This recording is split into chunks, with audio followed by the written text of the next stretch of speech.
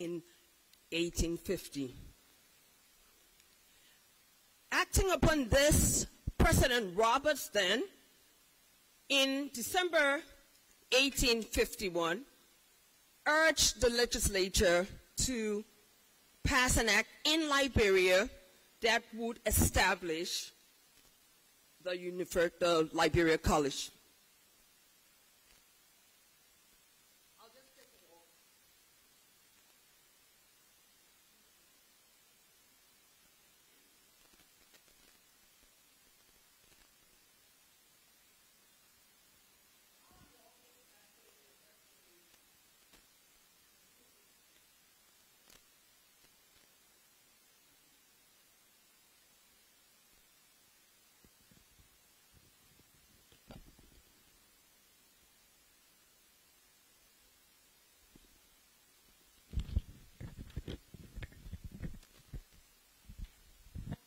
Continue telling my story until they get themselves sorted.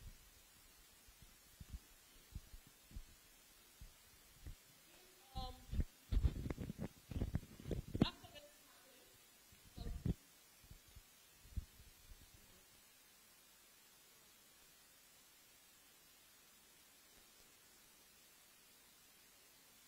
you can try the mic now.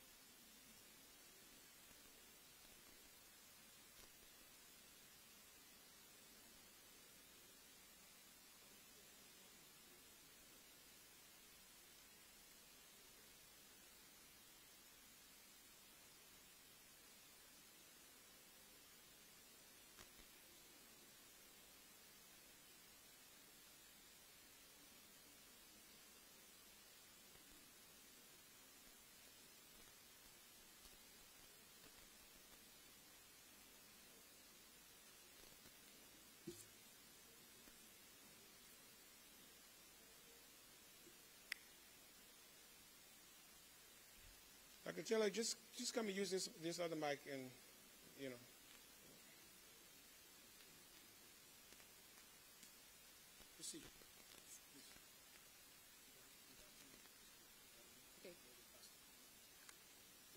The cornerstone was laid by the trustees of the nation for education in Liberia in 1858. They also financed that process.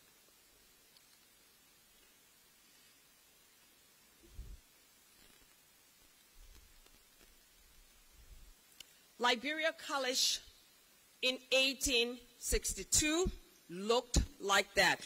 Now, I'll give you a slight backstory. After the cornerstone was laid, there was quite, there was quite a bit of confusion as to where the, the, the college would be located.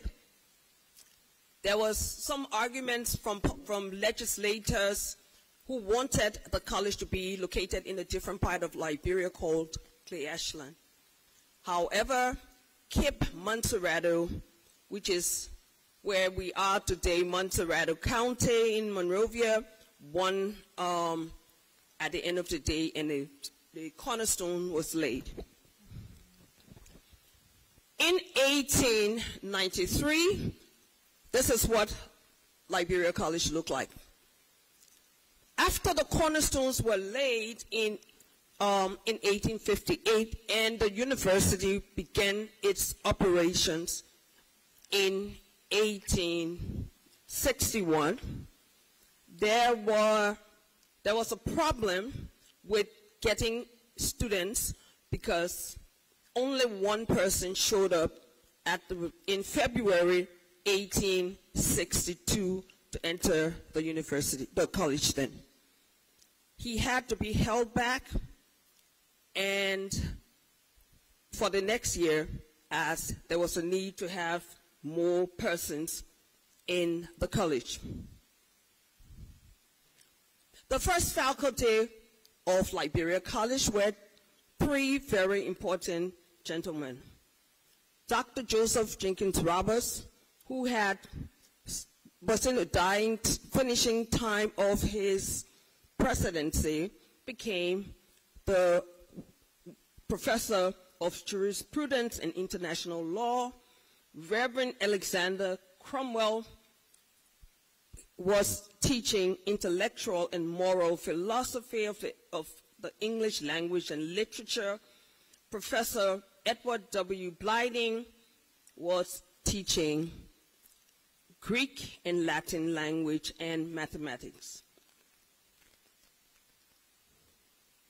What's this guy doing? As you can see, Liberia College in 1893 had a few students. We also note that between the years of 1866 to 1902, there were only 10 graduates of Liberia College. It was not until around 1881 that women were finally allowed to enroll in the preparatory department of Liberia College. It so happened that this was the far-sightedness of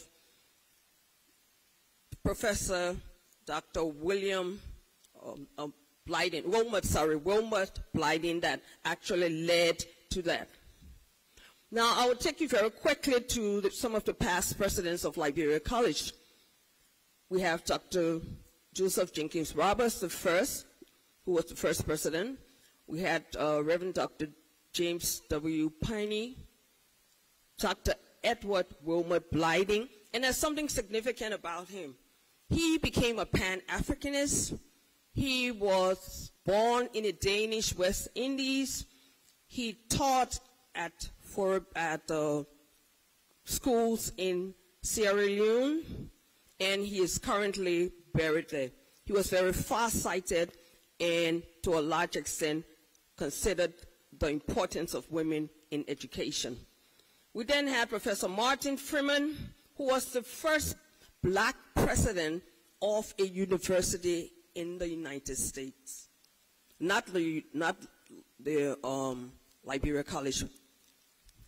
We then have Dr. Garrison Wilmot Gibson, who also served as um, the president of Liberia previously, um, before he became president of the University of the um, Liberia College. We had then Orator F. Coke, and then Dr. Garrison Wilmot Gibson again had another tenure as president of Liberia College. Professor Arthur Barclay then succeeded him, but only in an acting capacity. Followed by Reverend Dr. Robert B. Richardson. And then we had Honorable Jenkins, uh, James Jenkins Dossen, who happens to currently have a hospital in Liberia named after him. He was very significant in contributing to moral and legal issues and a lot of issues around ensuring that how, how um, the people of Liberia should respect the rules of, rule of law.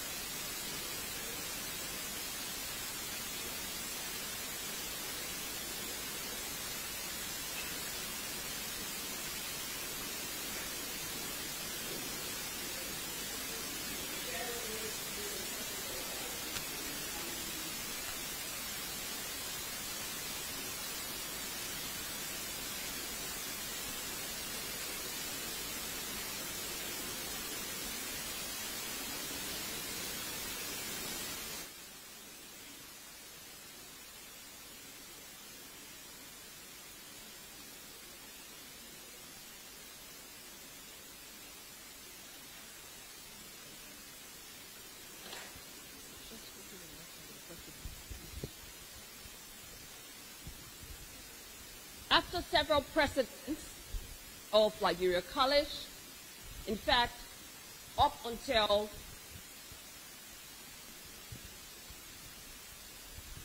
during the period of World War II, the president who led Liberia College was very, he in fact was the longest serving president of the college.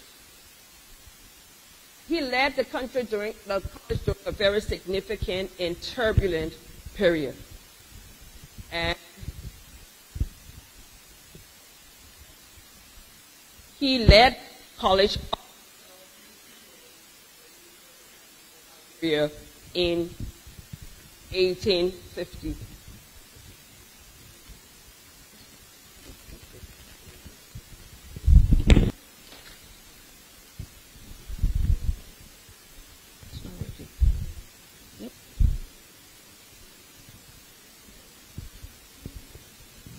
Okay. Ward, um, T. Ebenezer Ward, very significant, like I said, a very, a very significant period. He, he served the Liberia College up until during the period of President William D.S. Tubman, who by this time saw, felt that Liberia was beginning to improve economically, and they at this time could take on some of the responsibility of financing the college. Throughout its history from its inception, Liberia College was financed by the initial group that started it, the trustees for the, of the nation for education in Liberia. They had been very significant in providing the financing throughout that period. So in 1951, President William D.S. Tubman, being quite far-sighted as he was, and recognizing how important it was for Liberia to have its own educational system, especially for higher education, he then tabled an act in 1951 for the creation of the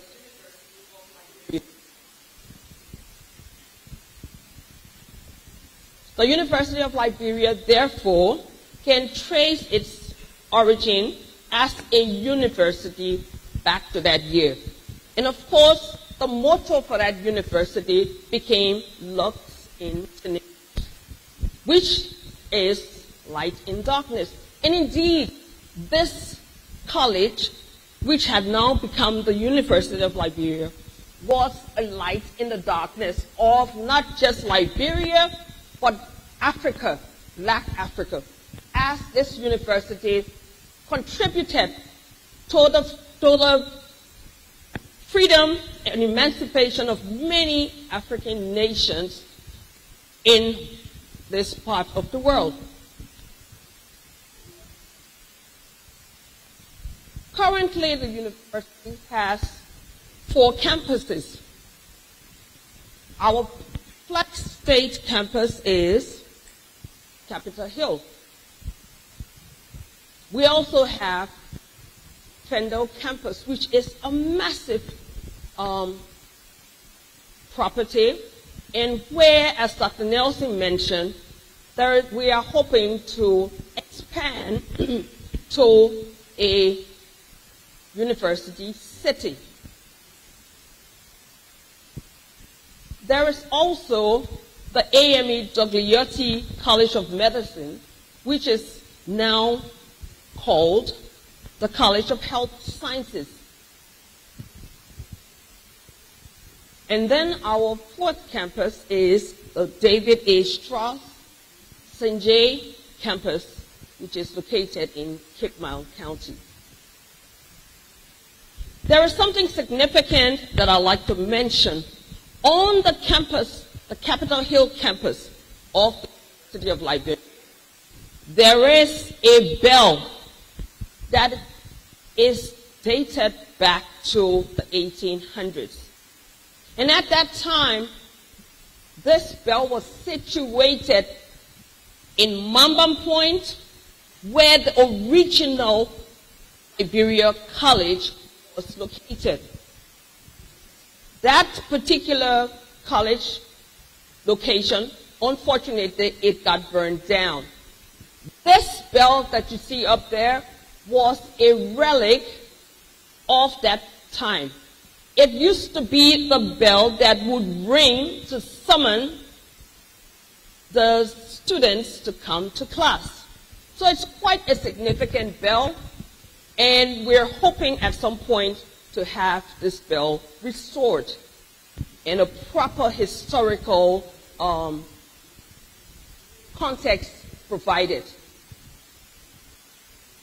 The current president of the University of Liberia, therefore, the first was Dr. J. Max Bond. Then there was Dr. Kermit C. Smith. There was Dr. Rocheforte Weeks, who was the first Liberian born and reared in, um, who became president of the University of Liberia. We had Dr.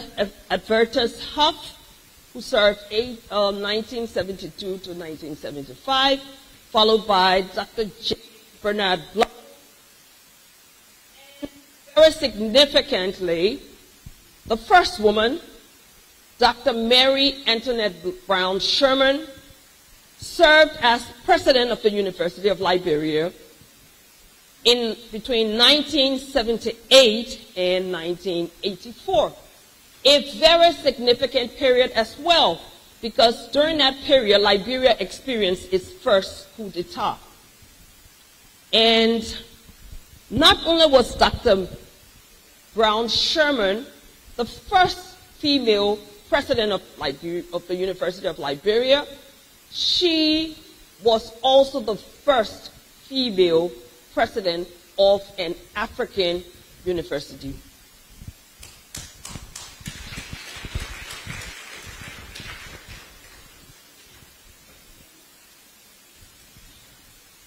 Liberia over the period and has had leaders from this very university. Many renowned leaders, from presidents to historians to bankers, have walked through the walls of the University of Liberia. I was one of those that actually graduated from the University of Liberia many years ago.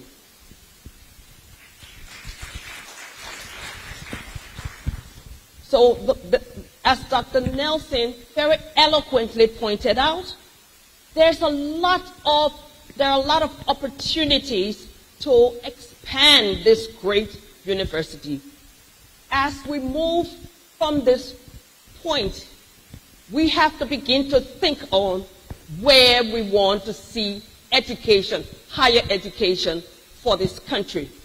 The University of Liberia, having been the first in this country that led the way and trained our leaders and trained members of, of other countries, leaders of other countries, we hope to see a major advancement in where we in the next 10 years.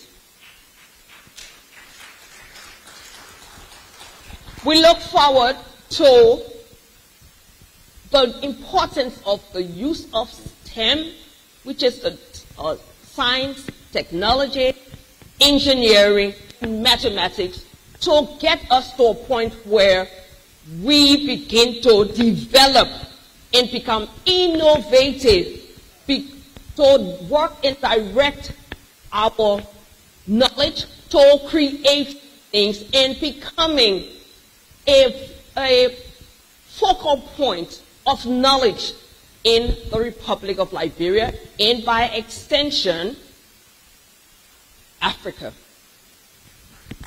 So ladies and gentlemen, distinguished guests, I do apologize for the glitch in technology, and I thank you for your indulgence, but please be patient and please join us as we work towards making this university the light in the darkness, a light that will guide us, a light that will make its take its place, that will lead us to a better Liberia. Thank you.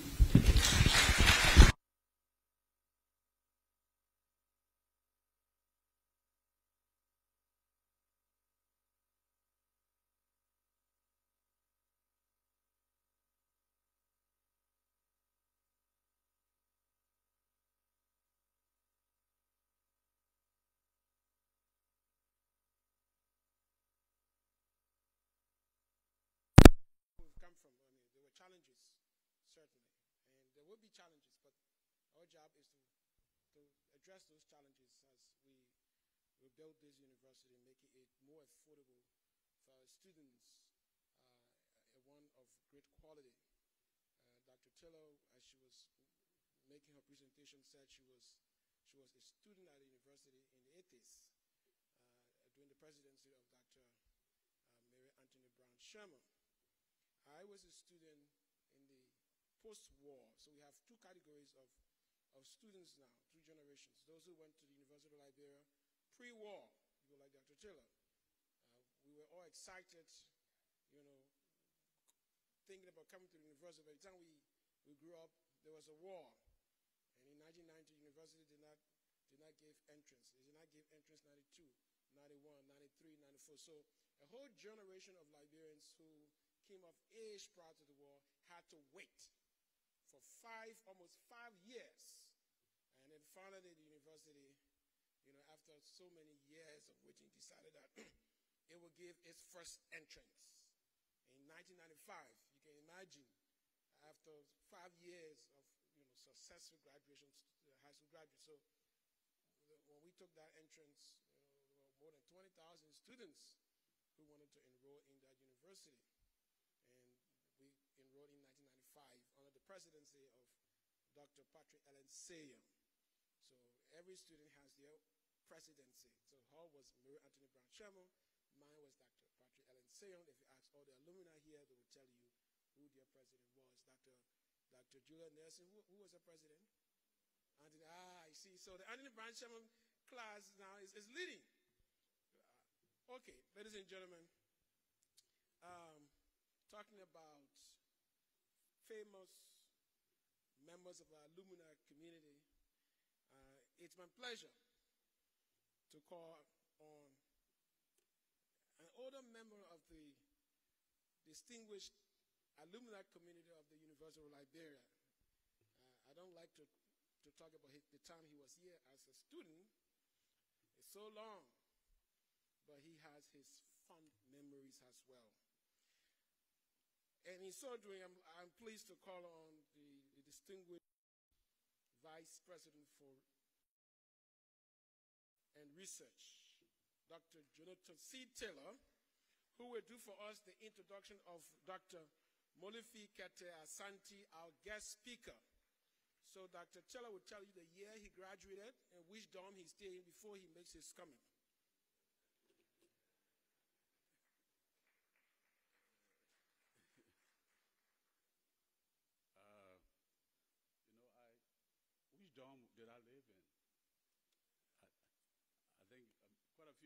Here lived in uh, Simon Greenleaf Hall. Uh, I remember that very clearly. In fact, we, we were the first group of students that, that lived in that dormitory in 1969. Uh, 19...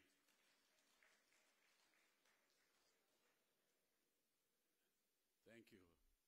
Uh, Honorable Matthew Zaza, Chairman of the Board,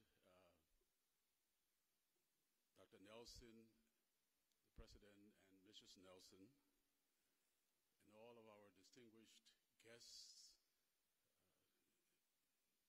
uh, diplomatic corps, and all of our leaders here, the academic community. Let me ask your kind indulgence to stand on existing protocol as I say good morning to all. Humans have been forced to leave their homeland throughout history. For people of African descent, this diaspora began by at least the 16th century and resulted in the dispersion of millions of African descended people in Asia, Europe, and the Americas. The most documented African diaspora occurred from about the 1500s to the mid 1800s and is called the transatlantic slave trade. It involved the forced embarkation of approximately 12 million captives from Africa to the Americas, that's North America, South America, Central America, and the Caribbean. The 10 million that survived the deceased, ridden, and harrowing slave later produced principally sugar, cotton, and coffee under one of the most dehumanizing slave regime in the world at the time. Today, their descendants comprise largely of large segments of the national populations in the United States and Brazil, two of the world's leading economies. In addition, the former Kaful transatlantic slave trade is being succeeded by vast throngs from the relatively poorer South to areas in the, in the global North, areas that are more, that are richer and more democratically stable. The overall objective of the University of Liberia Center for Diaspora and Migration Studies is to provide an analytical approach to understanding these migrations, the African diaspora, as well as the unfolding global movements of people. Liberia's ongoing 2022 bicentennial suggests that a republic is a probable microcosm of both of these strands. Many of those who have joining here today to commemorate the 1822 arrival of free blacks also fled political violence in Liberia. In other words, the quote and unquote return being commemorated comprises descendants from the old Kaful slavery as well as present day so-called voluntary migrants. Last year, just about the time when the University of Liberia's cabinet was deliberating the establishment of a research center to study the issue of the Liberian diaspora in part as part of its contribution to the bicentennial celebrations, we participated in an international diaspora conference hosted by the African Union and the Association of African Universities. Our guest speaker today was a facilitator at that gathering. His passion for the African diaspora issues in many ways helped spur us on to this particular day we celebrate. We are pleased that Dr. Molefi Kete Asante could join us here today for the launching of the Center for Diaspora and Migration Studies as the newest academic unit of the University of Liberia.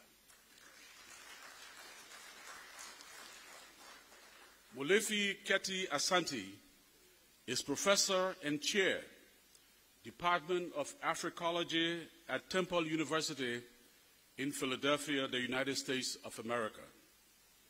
He is the president of the Molefi Asante Institute for Afrocentric Studies. Asante was an honorary professor at Zhejiang University, Hangzhou, China, and is professor extraordinarius at the University of South Africa. He is the founding and current editor, Journal of Black Studies, and the first director of UCLA's Center for Afro-American Studies. Asante, often called the most prolific African-American scholar, is the author of 97 books. Among the most recent are Being Human Being, Transforming the Race Discourse, The Perilous Center, or When Will the Center for Africa Hold, Radical Insurgencies, The History of Africa, third edition, An Afrocentric Pan-Africanist Vision, The African American People, A Global History, Erasing Racism, The Survival of the American Nation, Revolutionary Pedagogy, African American History, A Journey of Liberation, Facing South to Africa, and the memoir As I Run Towards Africa. Asante has published more than 500 articles and is considered one of the most quoted living African authors as, of, as well as as well as one of the most distinguished thinkers in the African world. He has been recognized as one of the most one of the 10 most widely cited African scholars and one of the most influential leaders in education. He received his PhD from the University of California, UCLA, at the age of 26 and was appointed a full professor at the age of 30 at the State University of New York at Buffalo. At Temple University, where he now serves, he created the first PhD program in African American Studies in 1988. He has directed more than 140 PhD dissertations, making him the top producer of doctorate students among African American scholars.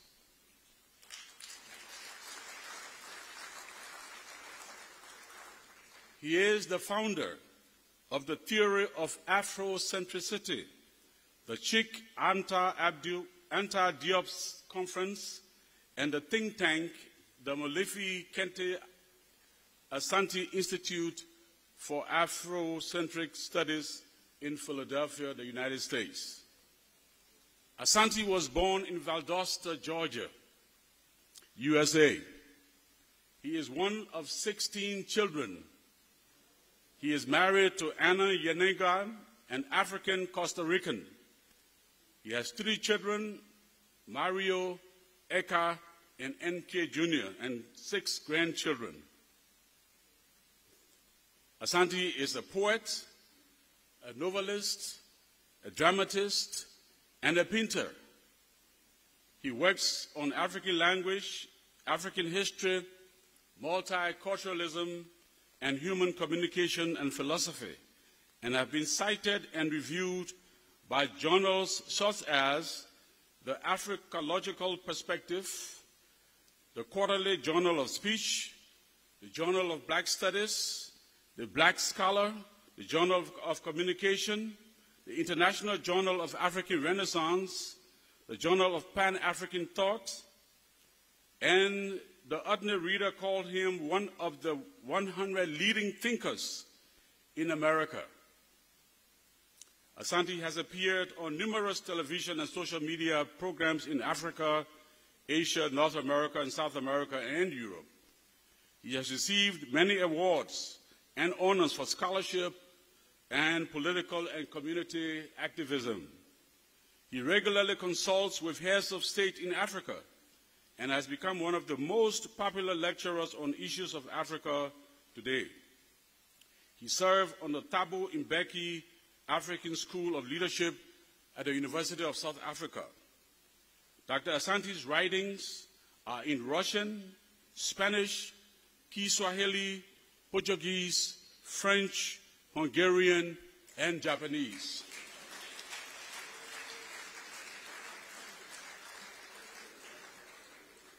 He was the president of the civil rights organization, the Student Nonviolent Coordination Committee at UCLA's chapter in the, in the 1960s. Traditional titles have been conferred upon him in both the Republic of Ghana and the Republic of Mali. Asante has received honorary doctorates and awards from several institutions, including Pepperdine University, the University of New Haven, Sojourner Douglas College, and many others in Africa and other places. His students have included many African scholars, including our own Dr. Edward Wonkeryor and Dr. Sir Abdullah Vandi.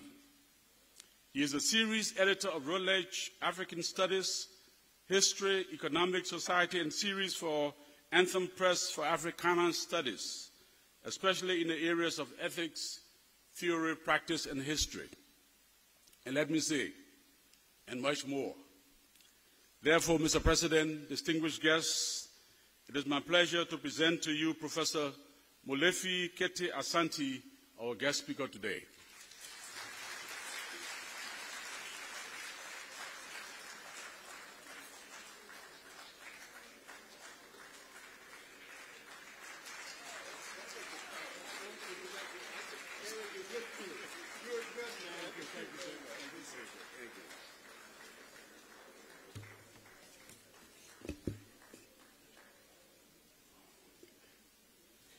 I should uh, come to Liberia just to be introduced.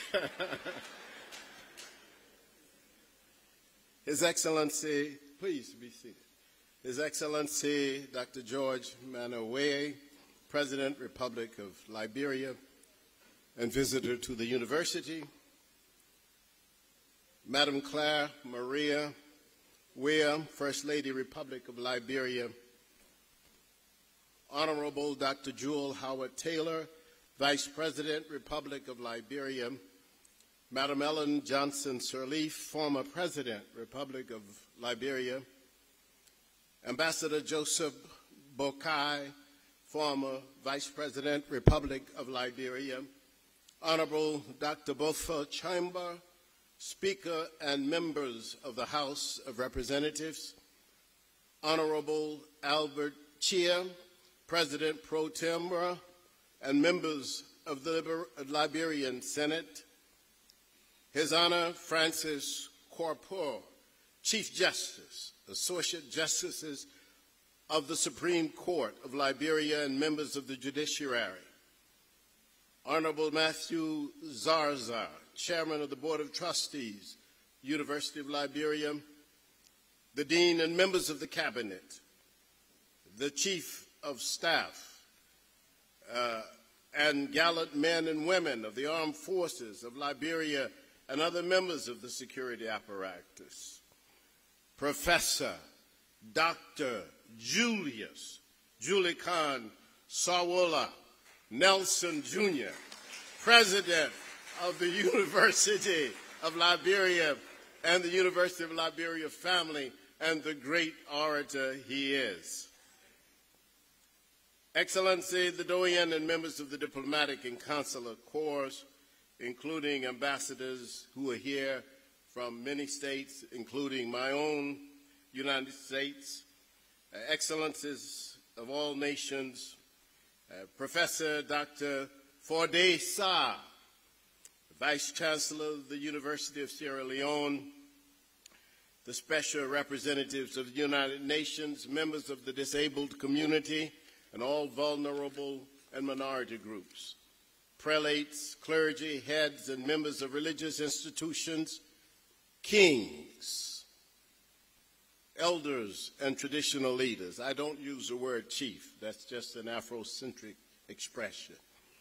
Heads, heads of tertiary and higher educational institutions, members of the Fourth Estate, distinguished guests, students, Dr. Agnes Reeves Taylor, distinguished ladies and gentlemen. I have come on this February 15th, 2022, to celebrate and meditate with you on your bicentennial festivities and the future of this great country, especially in terms of education. I bring you greetings from the brothers and sisters in Philadelphia, an old African city, the seat of much activity to improve America. Fofi Jabate, the leader of Akana, our Philadelphia Association for Africans, told me to make sure that I gave you his special blessings. Philadelphia is the source of many innovations and initiatives. Many of you trace your history to Philadelphia. Africa has given us many ideas, and one of them is the idea of Afrocentricity, an idea that I actually got from an expression made by Kwame Nkrumah in 1961, where he said to W.E.B. Du Bois, who was one of the greatest African intellectuals of the 20th century, I always say that the greatest intellectual of the 20th century was Cheikh Anta Diop. But the second greatest was W.B. Du Bois. And Kwame Nkrumah said to him, I want you to start and develop an encyclopedia Africana. But I want it to be Afrocentric. I don't want it to be Eurocentric. It was a profound statement. And I took that statement and developed the idea of Afrocentricity, which has become, over the years, one of the most dominant ideas in universities throughout the continent.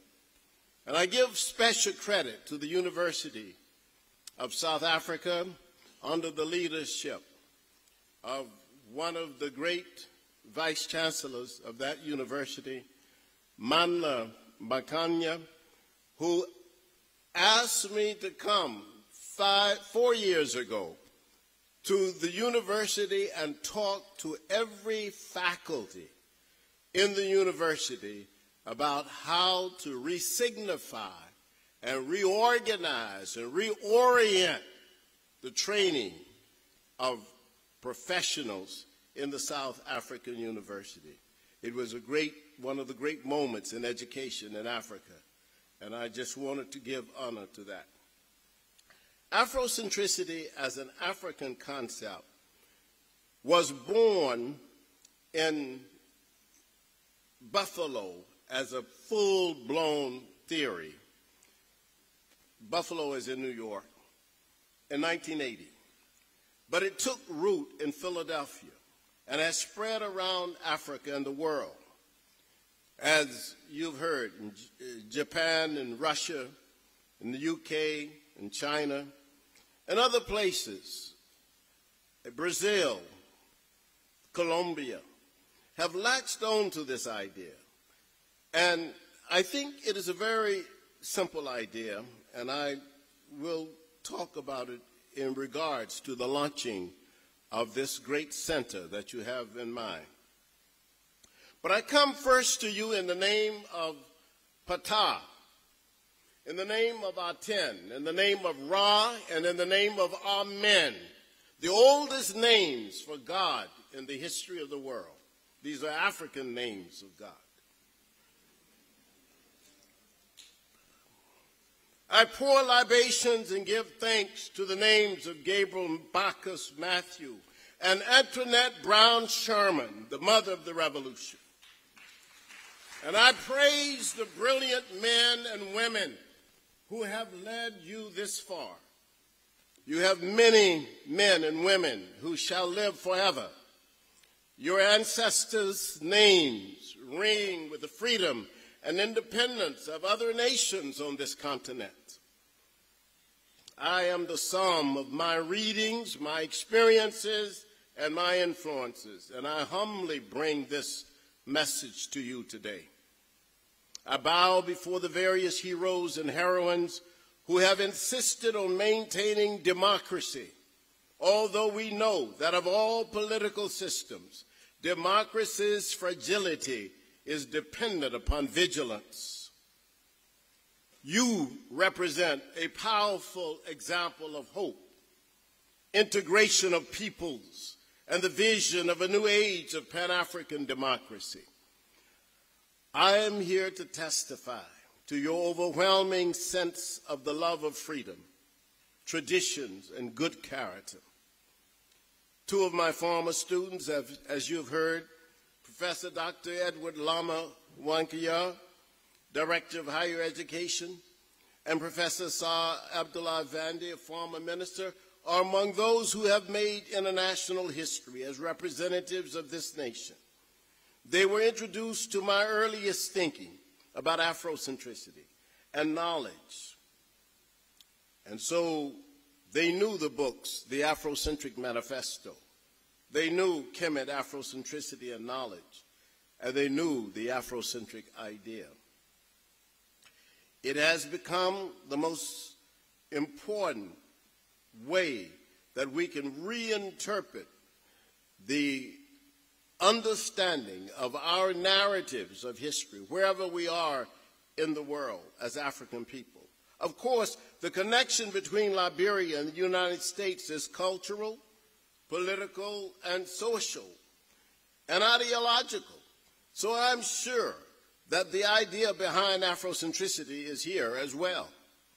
It is a simple idea, controversial to those who deem the interrogation of African cultures aberrant.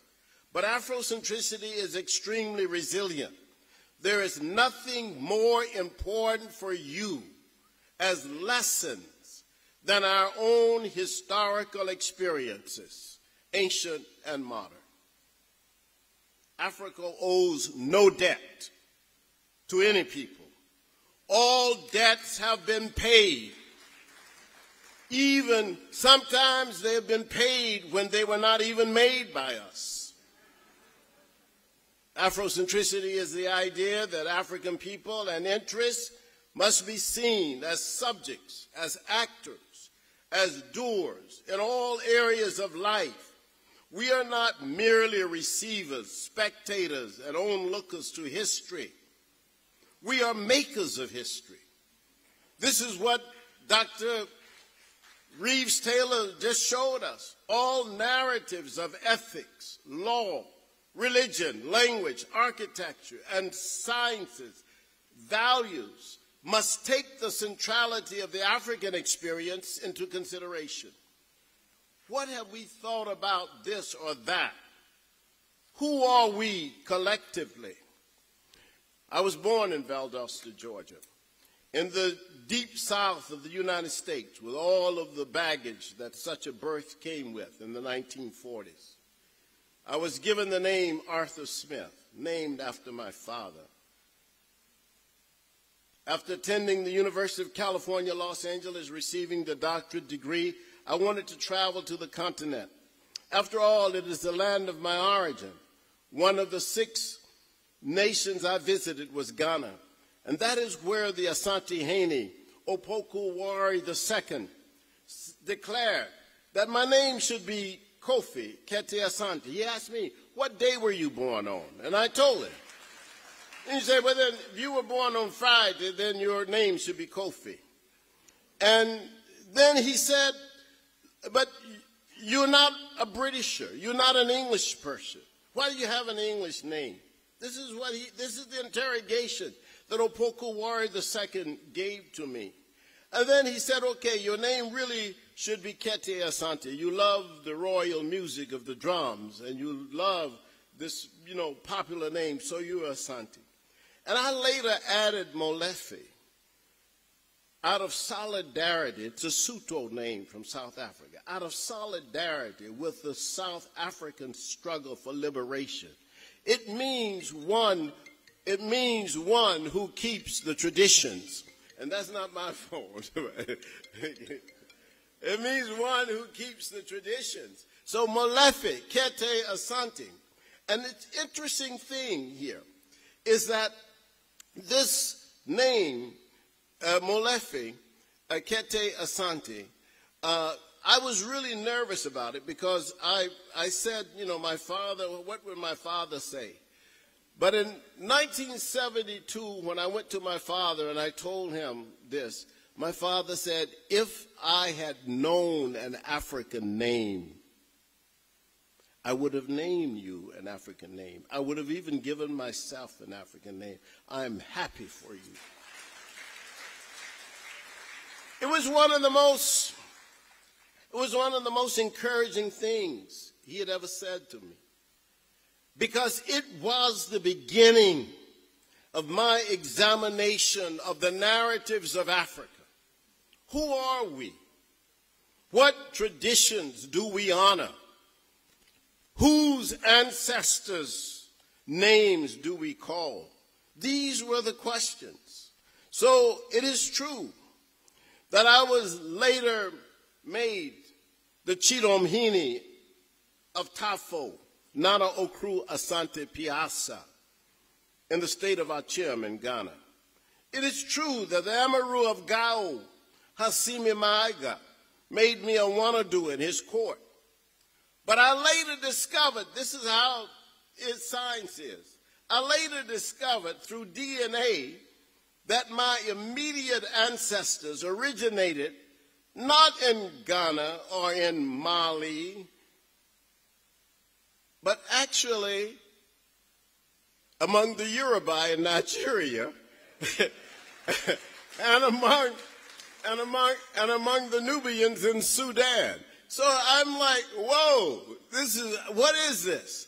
Here's a guy carrying a name around, a South African and a, and a Ghanaian name, but actually his traditions are in Nigeria and Sudan. So it's a whole different story. So I always tell people I am a true Pan African. I lived in Zimbabwe. I trained the first set of Zimbabwean journalists after the second Chimurenga. And like so many of you, my history is complex. Some of it known, some of it remains unknown. But one truth I know Africa is the origin of humanity.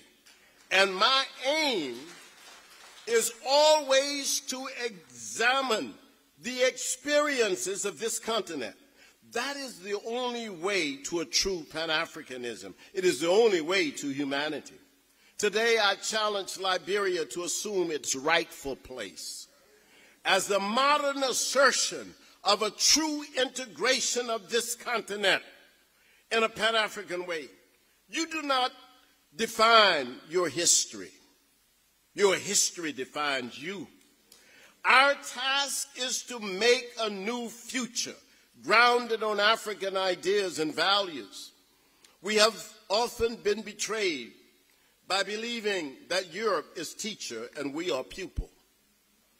On the plane over here, I heard a white American sounding every bit like he was a leader of a plantation. His language, his attitude, his ignorance was palpable. And as we do, we just looked at him and let him demonstrate his Southern American arrogance. Most of us in line in Paris for the flight ignored him. And I said to myself that even going, coming to Africa, he carries with him the same notion of white supremacy that I found that I left in the United States of America. What is this?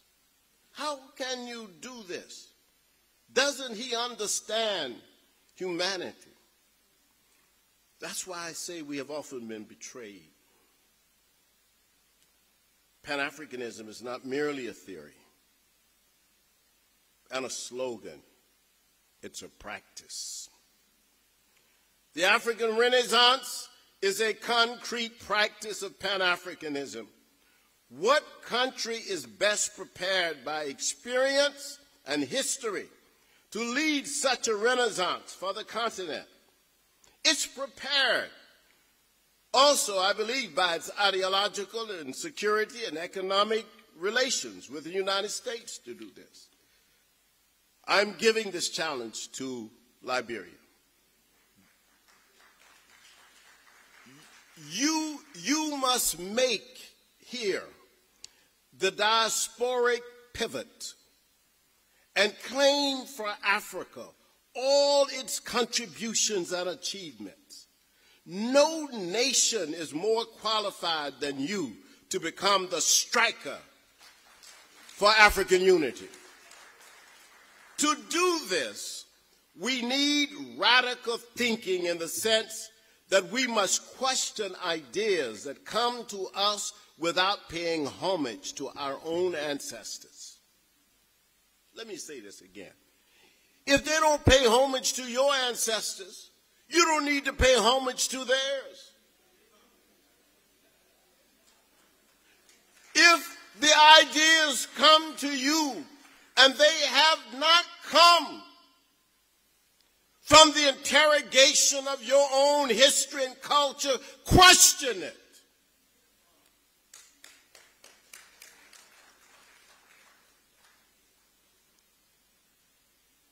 Who and what are the traditions of beauty?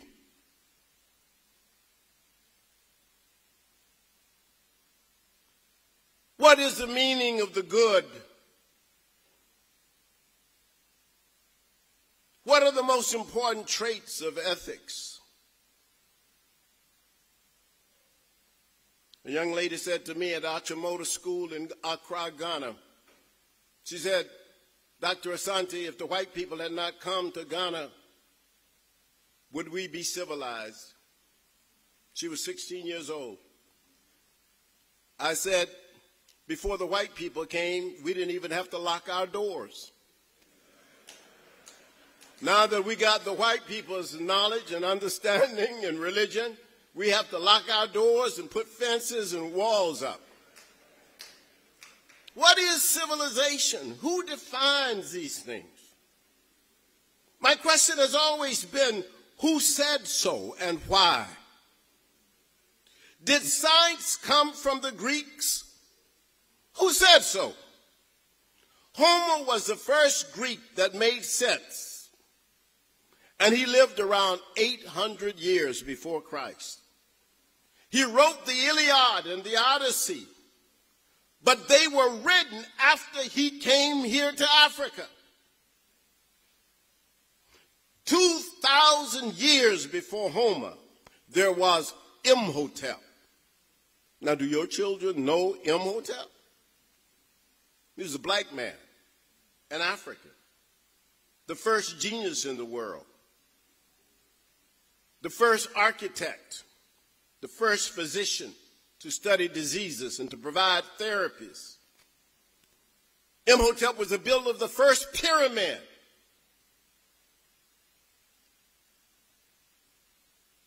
Science, look, science and knowledge is here for us to study and to interrogate.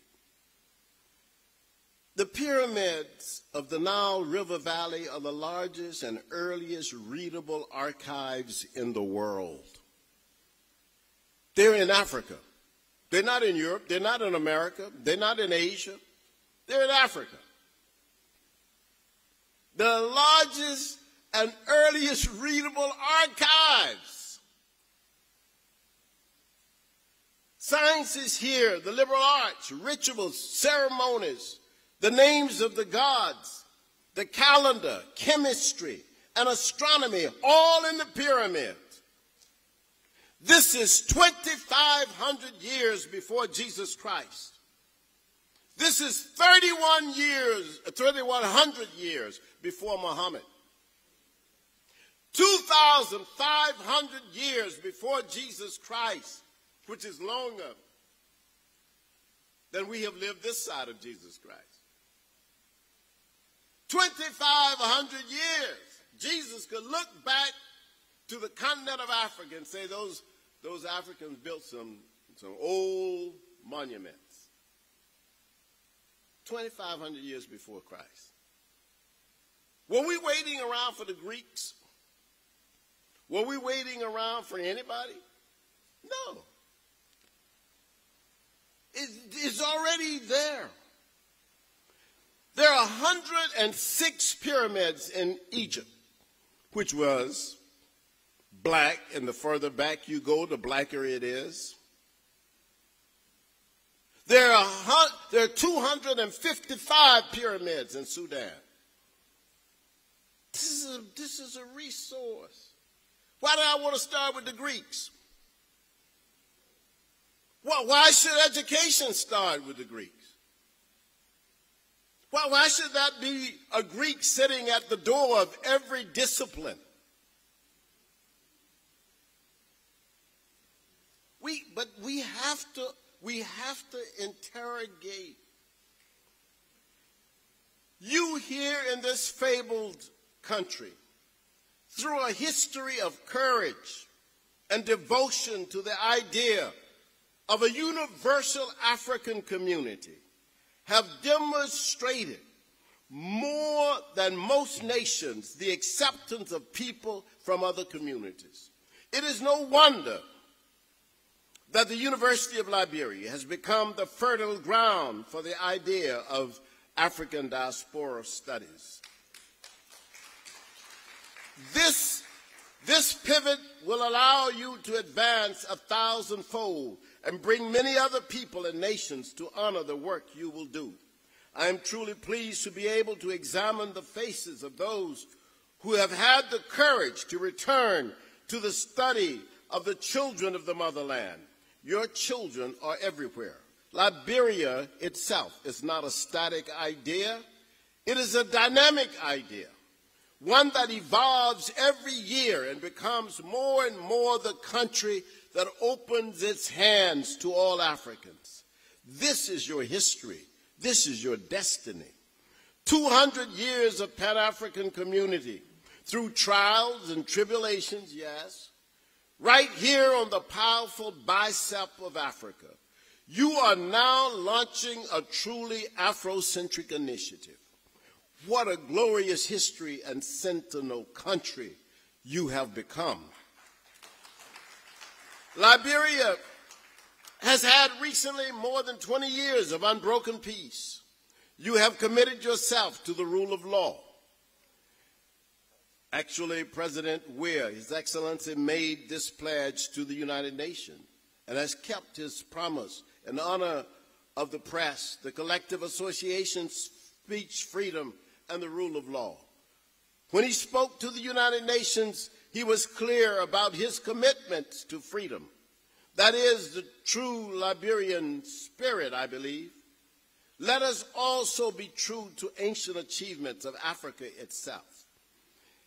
I saw in Nzalo Ilanga, in the province of Mpumalanga in South Africa, the place of the rising sun, where over a hundred thousand years ago, our ancestors on this continent stood stones up in honor of their ancestors.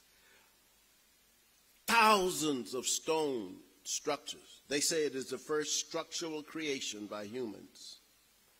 President Nelson, I come to tell you that you know uh, what you know, and that is that we must maintain vigilance and encourage democracy, individual and collective rights, and the rule of law. The University of Liberia sits at the front steps of our adventure in African diaspora studies. It is the respect for the rule of law that will enlarge opportunities and freedom and make this proposal for a program in migration and African diasporal studies practical, real, and beneficial for the nation and the world.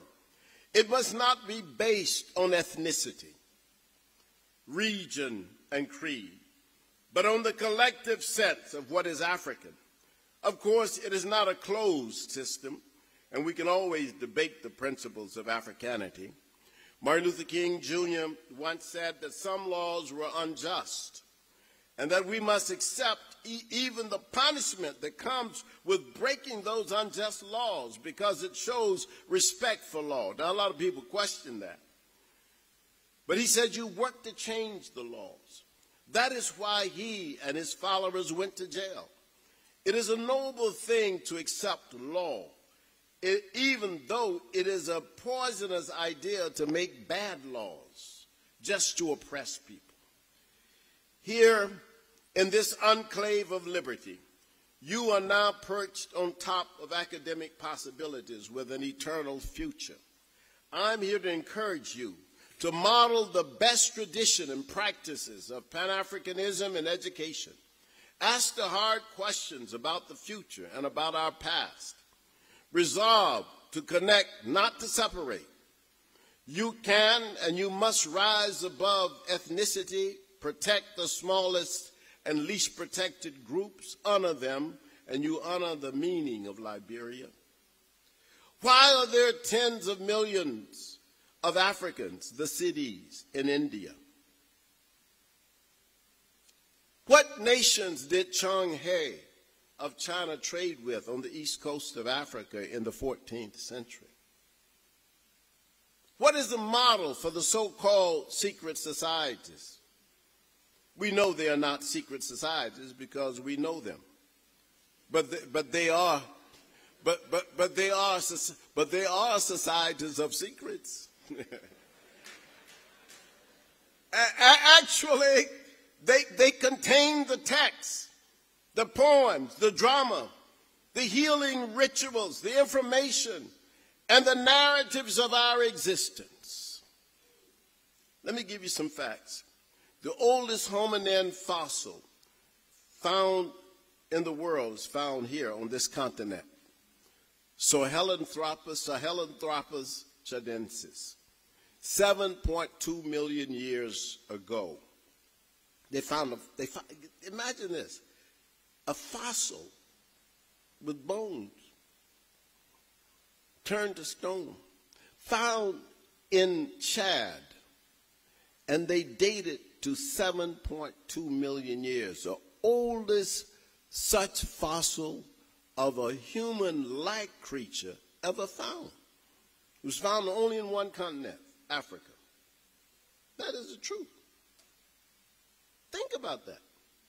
But there's something else to think about. Homo sapiens, anatomically modern humans like us, arose about 300,000 years ago on one continent, Africa.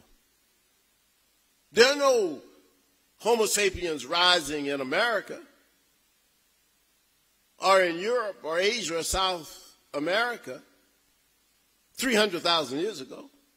They're rising in Africa, Homo sapiens. So, so of the 7 billion people in the world today, all of those people have African DNA from one African woman. Think about that. When you meditate on that, there are a lot of questions that you have. And I know you have them. I had them too. But all humans have DNA from Africa. This is the most diverse continent in the world. The nearly 2 billion people on this continent represent more diversity than the rest of the world combined. Here on this continent. Now, here's the thing the earliest Africans, the earliest humans, who were the earliest Africans? There were no, all the people in the world were black until 70,000 years ago. There were no other people. Three fourths of the time that Homo sapiens have spent on the earth was spent in Africa before migration out of Africa. Think about that. So, what do we learn? What was edible and what was not. Otherwise, nobody would exist. Everybody would be dead. Ate poison food. You know what I mean? We had to learn that. You, you had to learn shelter. You had to learn how to cross a river.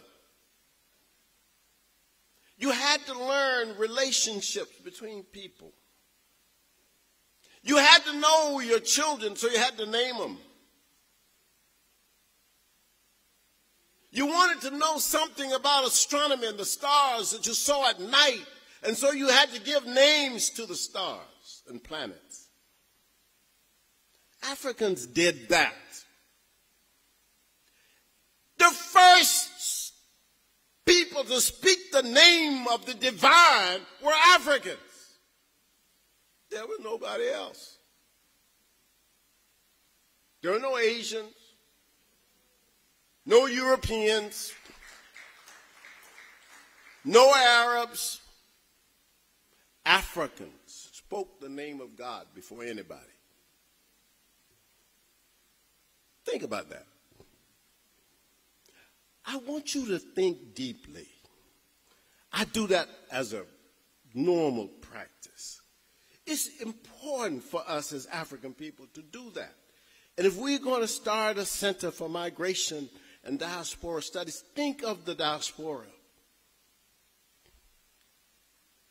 Dr. Professor Taylor, when he was introducing me, I was thinking about how we were talking after the African Universities Conference and began to get these ideas that sometimes we don't know all that we need to know about ourselves. And that's why I ask the questions I ask. Africans knew diversity more than anybody else. We knew that people were short and some were tall. We knew that some people were lighter than others, some were darker than others. We knew that some people spoke different languages. But you know what? We never ranked people on the basis of their shortness or their color. It was not African. It was not an African idea. Listen to this, because this is central. Africans knew that humans were diverse. But because you had brown eyes and someone else had black eyes, we didn't say you were different or better than that person. We knew that. You were human.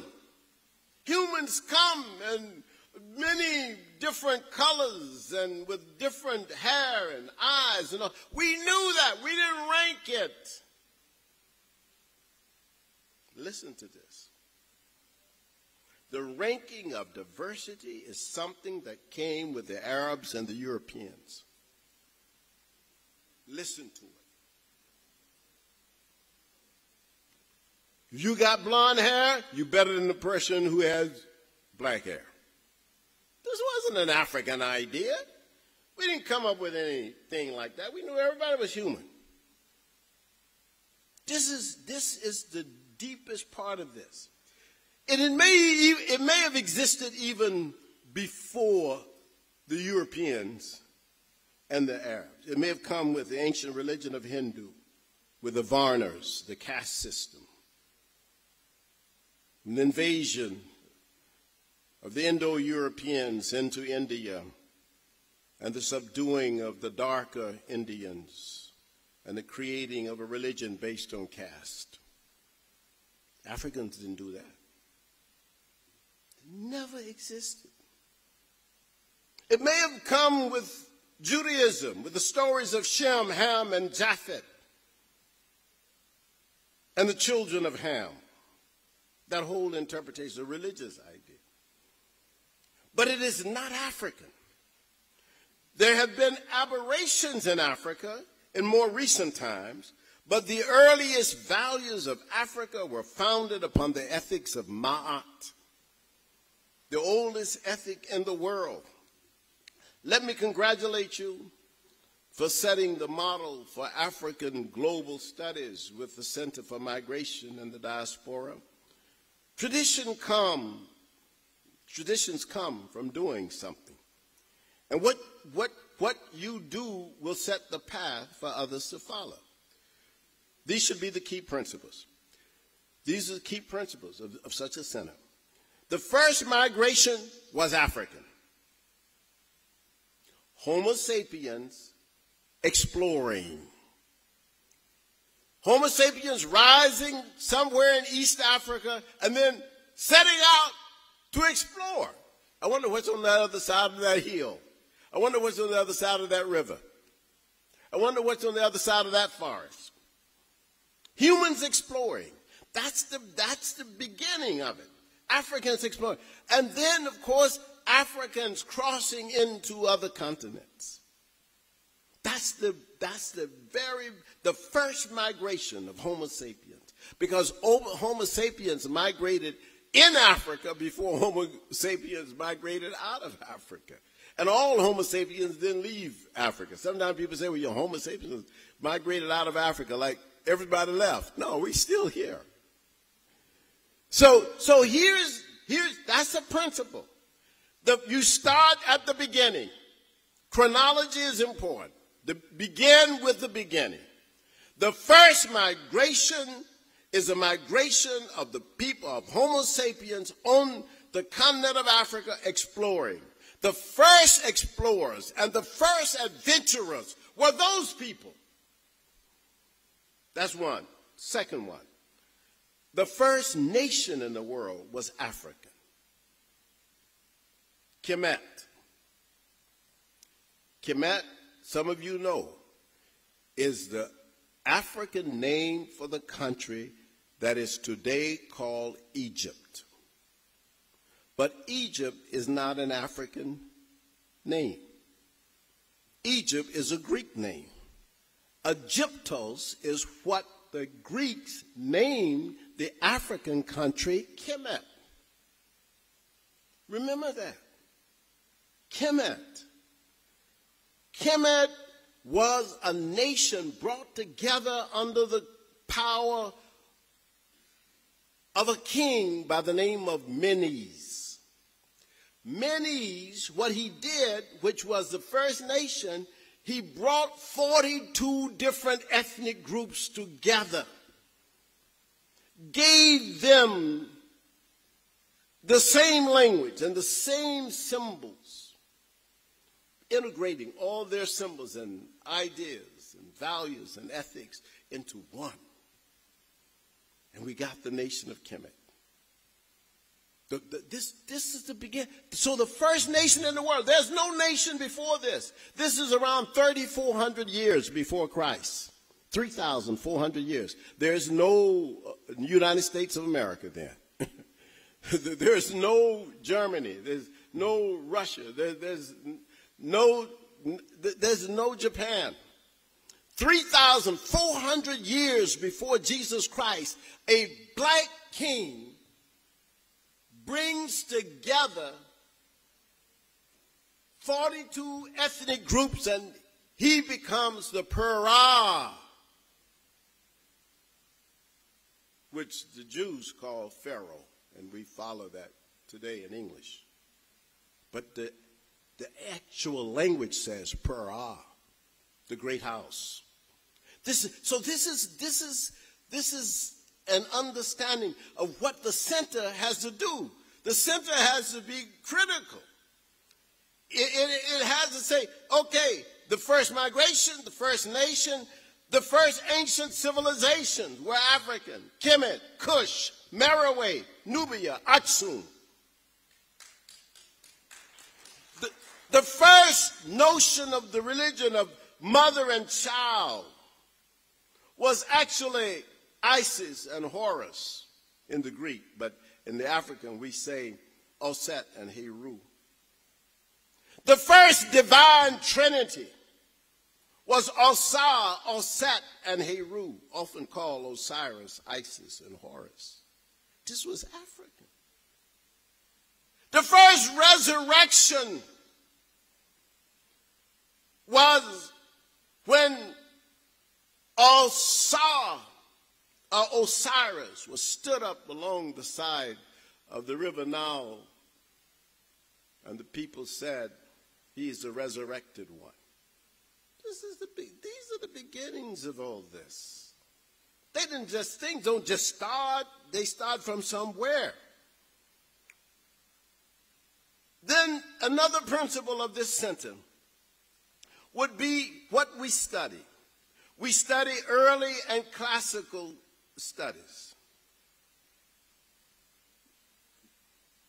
Because if we study the older, the further back we go, we, we know. We know, for example, that we, we get the Arabs coming to Egypt in 639, this era, under the general El Az.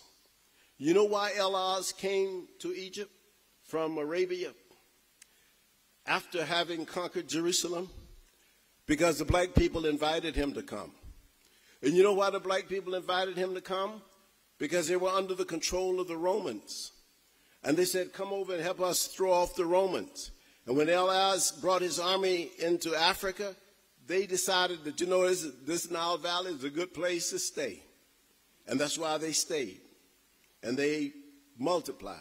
So when you go to Egypt today, and I've been to Egypt about 17 times, when you go to Egypt today and you see Egypt, Egypt is not what it was before 639. You see? It's the same as when you go to the United States of America. I live in Philadelphia. But the people who lived in Philadelphia before the Europeans came and before the Africans came were the Lenape. The Lenape were there thousands of years ago. So you, it, so it's not the same. It doesn't look the same. They're not even the same people. The composition of people have changed. And that's what happened to Egypt. Except, fortunately, in Egypt, there are still black communities. And I go to these communities. I go to Elephantine and I talk to the people. That's how I get my knowledge, talking to the local people. And the local Africans will tell you what's going on in their countries. That's how you begin to get first. I can't write the history of Africa if I don't talk with people. So I talk with people, I read, and I'm influenced by all of it. But it's important to know something before you go out. So the organization of the center must have classical studies, major migrations, forced dispersions, because Africans have been forced to disperse.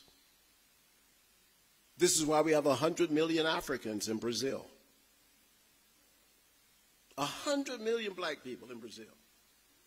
Trace their ancestors to Africa. This is why Colombia in South America has 30% of its population. It's African. And they didn't go there to pick cotton. We picked cotton in Georgia. In, in Colombia, they, they dug in the copper mines. That, that, their enslavement was a, was a mining enslavement. Ours was agriculture, sugarcane, you see and so forth. So we got to look at these dispersions. Why, why are people there? Why are black people in Peru? Why were black people in Baghdad in 900 AD? The first slave revolt was the revolt of the Zanj rebellion. That's why sometimes people call South Africa Azania. It comes from the Zanj rebellion, 900 AD, when the black people revolted against the Arab enslavement in Baghdad. Go look it up. It's in Google. Did y'all do Google here? I mean, you can find it. It's easy to find, right? But why, look at this. Why did we lose that knowledge? Who stole it? George James of Guyana wrote a book called Stolen Legacy, declared that the Greek knowledge was found first in Africa. In my book, The History of Africa, I've told our own stories and our own names to re-signify our ancestors and actions. We had kings, not just headmen and chiefs. That's why I say I don't, well, Europeans call our kings chiefs. They call their kings kings. Now, wait a minute. Wait a minute. How, how are you going to do that? What's, what, what's the difference? Why are you going to do it? And, and I'm going to tell you, that's why, look at this. We, we were kingdoms, we were nations. We, we, we, we, um, we, were not, we were not tribes, even. We were ethnic groups and nations. Tribe is a diminutive. Europeans are going to go around. I mean, you got, if, if you were talking about tribes, if you go to Russia, where I visited a year or two ago, just, just before the beginning of COVID, and it was very interesting. They got all kinds of people, but they don't call them tribes, they're ethnic groups. The French are an ethnic group or a nation. The only tribes are Africa or South American forest, maybe some people in Southeast Asia. Because they don't, the people who do the defining, they, they have an idea. The tribe is more primitive in their mind. Don't ever use that word. That's a that's a that's that's one of the worst things. No, you, I mean, they used to say European tribes, but they don't say it anymore. And you say the German tribes. Oh, no, no, no, no, no, no. You know, we, we, we can't say Visigoth tribe anymore like that. They're nations, they're people, they're ethnic groups. We, we have to re-signify. That's part of the Afrocentric idea. That's part of why in the United States right now they have a big issue among white people. They call it critical race theory.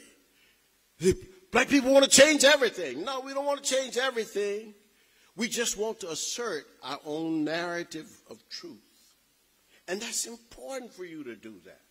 You don't have to accept any superiority of anybody.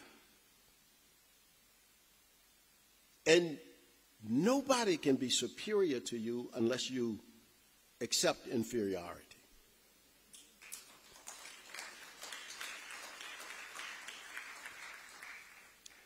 We need to have sections dealing with forced dispersions, the Ma'afa, as Marimba Ani says, from the Islamic and Christian intrusions into Africa.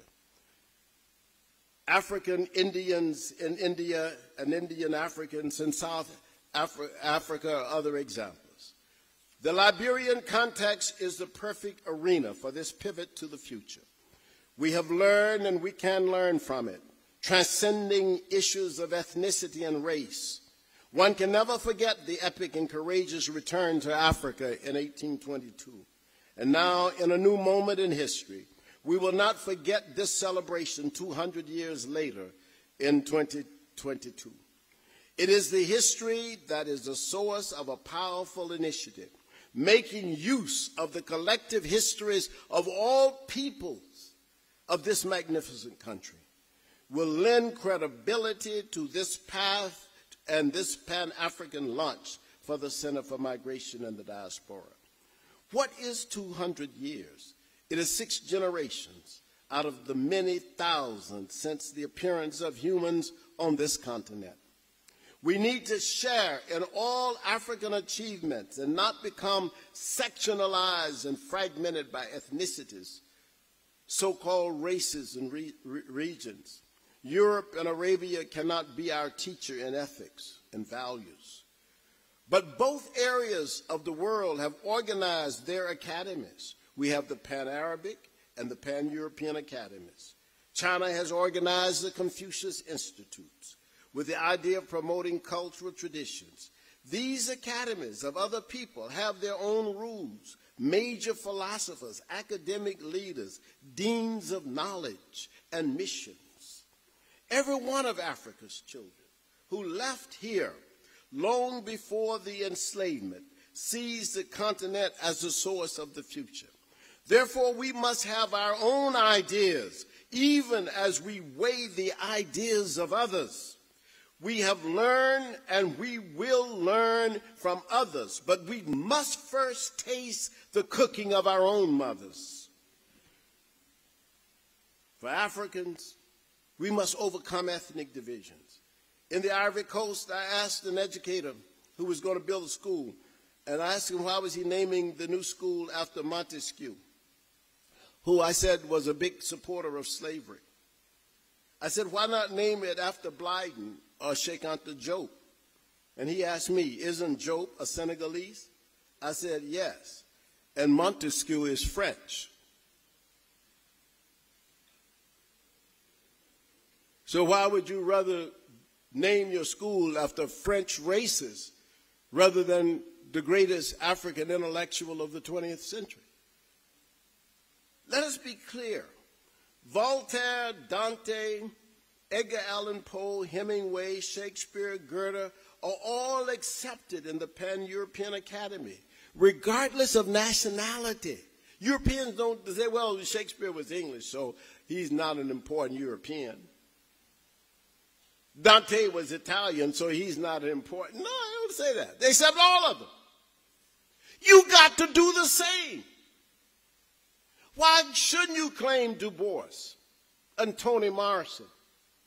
Why shouldn't you claim Abdias do Nascimento from Brazil? Why shouldn't you? They, they're all African. This, this, this sectionalism is a dangerous thing. Why aren't there books by African scholars, African diaspora scholars in universities in Africa? I questioned the dean at the University of Yaoundé about this in Cameroon. I said, you know, you get, you citing all these European scholars. Where are the black, where are the African American books? We got scholars. Where are the books by the, by the African people who are writing in French in Haiti? This is a French speaking country. Well, Haiti is a French speaking nation, and they have a history of intellectuals. Well, where is it? That has to do with where we think and how we think. Who said that only Europeans could write this or that? To have a center for migration and diaspora studies is powerful, but it must truly teach us how to love ourselves, our traditions, our teachers, our philosophers from, from the entire African world. So we share, I share, and I know my own history is global. Our aim must be to study the interactions between humans for patterns and models of good community behavior. In my new book, Being Human Being, Transforming the Race Discourse, written with Nah Dove, we asserted the idea of human beingness, regardless of color, creed, gender, or class, as the key to a truly human future. Africans are a global people, and the fact that Iceland's Miss Universe in 2019 was of African heritage is a recent example of dispersion. But an older dispersion happened over the past 500 years due to our encounter with Europe. In 1441, a Portuguese ship took Africans from the Senegal River region to Lisbon to open what would become the European slave trade. I do not call it African slave trade or transatlantic slave trade or trans-Sahara slave trade. The ocean and the desert never did anything to us. That is why I say European slave trade and Arab slave trade, which predated the European dispersion of Africans. Let no one tell you that Africans started the international slave trade. Chattel slavery of others was never in Africa's history until Arabs and Europeans came to the continent. Were there African collaborators? Yes. But there will always be collaborators. You got collaborators today. During apartheid in South Africa, there were black police. But apartheid was not an African initiative. You can't blame it on the black police. In all of my studies of Africa, I have not found where African culture or African people made slavery the principal mode of production. If you got an example, tell me.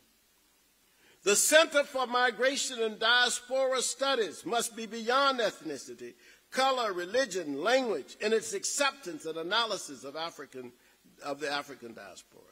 Yet to be beyond ethnicity and color does not mean to ignore who you are, your heritage, and your tradition, but to accept the same from and for other people. The Center should be fiercely Afrocentric, grounded in classical African texts, articulating a com common narrative of excellence and victory, asserting the liberation of women while understanding a global Africa as the producer of knowledge and dedicated to resisting all forms of domination. We must accept all contribution of those who claim Africa. The great James Weldon Johnson went to the Institute of the Pacific Relations Conference in Kyoto, Japan in 1929 and spoke for us. And I'm not going to go, I got a whole list. You can read this later. Uh, I'll leave the paper. Uh, but there are all kinds of Africans all over the world doing all kinds of things. And some of them you know, some of them we have never heard of. We never didn't know the names of these people. Uh, but they have done many, many, many things. The, the mother uh, of Afro-Peruvian dance is Victoria Eugenia Santa Cruz. But most people never heard of her. But she's an African woman the, the, the founder of one of the first the free areas of the Americas was Yanga, a Congolese who lived in Mexico. One of the great warriors of the 1500s and 1600s was Zumbi of Brazil. But we never heard of them, or Nanny of Jamaica, the Akan woman, much like Yaa Asantewaa who led her fight against the British. Dessalines, the greatest general who defeated Napoleon's army led by Leclerc in 1804 in Haiti.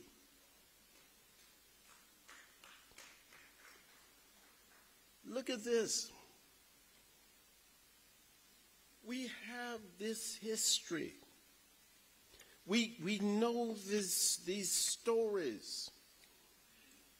The first black president in North America was not Barack Obama. The first black president was Vicente Guerrero, 1829. He was the Mexican president who terminated slavery in Mexico. But we don't know our history. In fact, in fact, one of the reasons for the great, and I'm sure the ambassador from the United States knows this, the, the great battle of the Alamo was because the Mexicans believed that the white Americans were going to bring slavery into Texas. And so they sent Santa Anna's army up to San Antonio to prevent the white Americans from bringing Africans from Louisiana and Arkansas into Texas and enslaving them. That's what that fact was about. How do we know this? Because Santa Anna wrote it in his journal. But this was because Mexico and Texas was a part of Mexico. And Mexico didn't have slavery. But Americans were going to bring it. He said, no, you ain't going to do that here. We can't let you do that. So, but we got to know this. Our challenges are great. But our victories are certain. Liberia will, with its wings setting sail toward a new century, can bring into being an Africa free of hierarchy and patriarchy, the parents of racism, oppression of women, brutality against numerical minorities, and classism. On this continent, the first queens in the world ruled. Sobeknefru, Hatshepsut, Cleopatra, Amanirenas, Amanishakhetu, Idia, and hundreds of others. Nubia still ranks as the ancient culture with more queens than any other nation. 42 women served as queens of Nubia. On this continent, Homo sapiens first called the name of God. On this continent, we established what was edible, what was not. On this continent, we established the names of the days of the week, and we established the calendar. On this continent and in this fertile nation, we will plant the seeds of migration and diaspora studies. So we have challenges, but we have always overcome them. You are not an insular people. You are a global people. While some of you are descendants of those who spent over 200 years in America, from 1619 to 1821, and another 200 years since the Elizabeth landed in 1822. And others of you have spent 50,000 years or more on the Windward Coast. You are one people democratic, energetic, and noble. Your nobility is unquestioned, and now you must rise again and take the new century by launching this Center for Migration and Diaspora.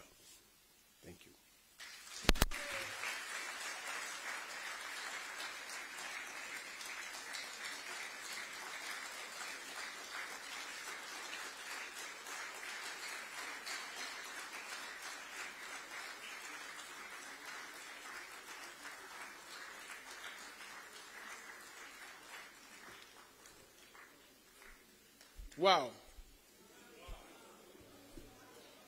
Spellbound. Extraordinary. Remarkable.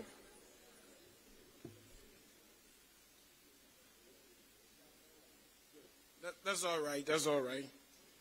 Um, ladies and gentlemen, please let's give Dr. Molefi a war rattling hand of applause for such moving, impactful, intellectual delivery befitting of this your Renaissance conference.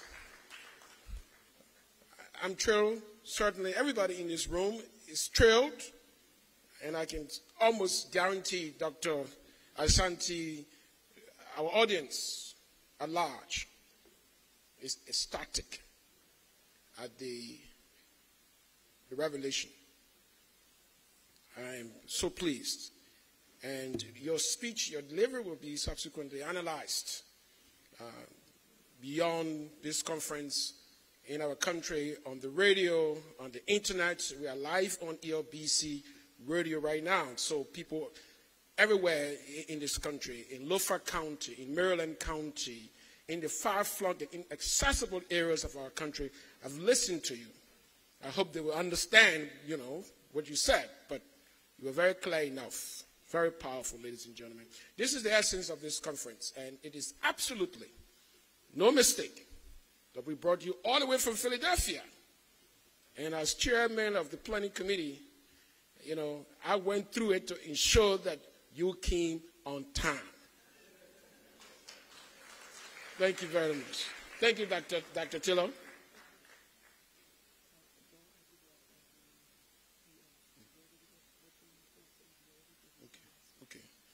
So good, good. You know, I, I, you, are right. We have to clean all, everything, you know, collectively. I mean, I was a student here in post-war Liberia at the University of Liberia, and unfortunately, I didn't read W.E. Du Bois, The Souls of Black Folks.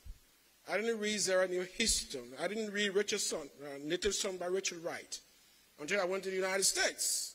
And I was amazed, you know, when I read Toni Morrison, The Beloved. So you are right. This center has to ensure that these books are in there so that our students can, can read them. Thank you very much. We will talk more about your speech, your delivery subsequently. Let me also announce the arrival of uh, some of our guests while Dr. Molefi was delivering his very impassioned and highly intellectually driven speech our senior, our Senator, Senator Conmany B. Wesseh uh, from River Gee County, uh, is here.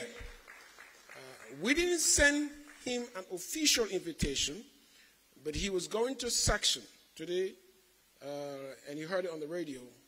it's important as he considered this University of Liberia, he turned around and came to this conference. So, Senator, please, uh, we're glad glad to have you. And he's a he's a true Pan Africanist. Uh, you know, he was student in 1978. He became the president of the University of Liberia Student Union. Uh, and his ascendancy to the student leadership coincided with the first female presidency of Dr. Mary Antoinette Brown Sherman. So, you know, he provided, his, his, his, his, his leadership provided that bare rock as well. So, Senator, we're, we're glad to, to have you here. We also have uh, the chairman of the UL Board of Trustees, Honorable Representative, Representative Matthew Zarzar. Uh, he is here. And ladies and gentlemen, I'd like to invite him to sort of respond to the, the delivery. And, and I'd like you to, both of you to come up, Dr. Molefi, Dr. Please, please come up back here, because this center has to be officially launched. Uh, it has to be officially launched. So uh, you, in effect, launch it by your delivery, but you know we have to go through the ceremony, and then Dr. Uh, Representative Matthew, you will, you will, sort of respond. So we'll call the uh, camera so that we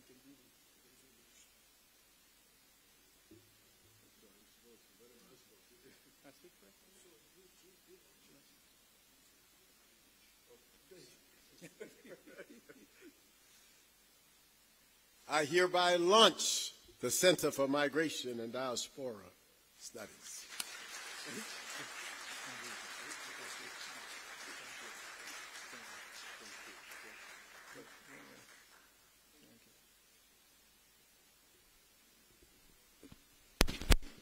My fellow members of the Board of Trustees of the University of Liberia, the President and uh, faculty of the University of Liberia, the guest speaker, our invited guests.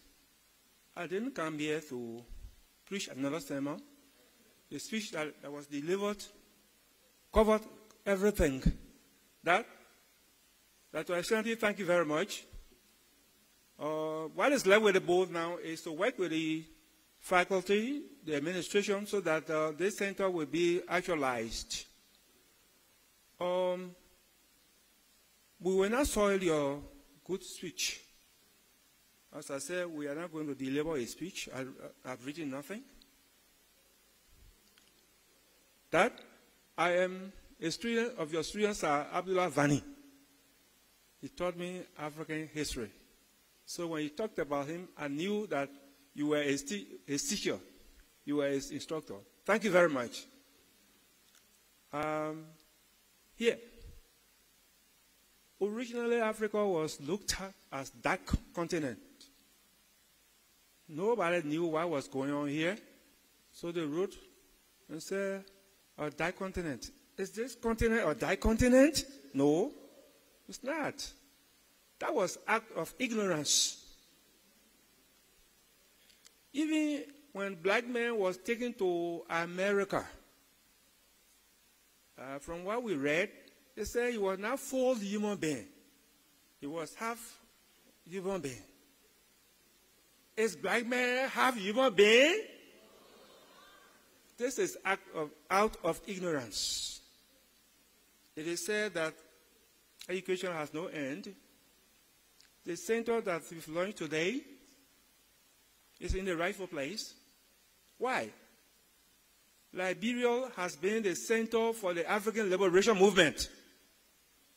Therefore, the University of Liberia is the rightful center to establish diaspora and migration movement.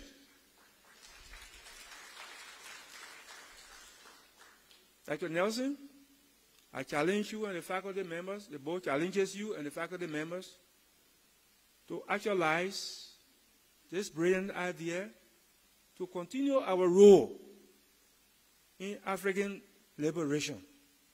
Yes, so many things have been said, but we must understand our history.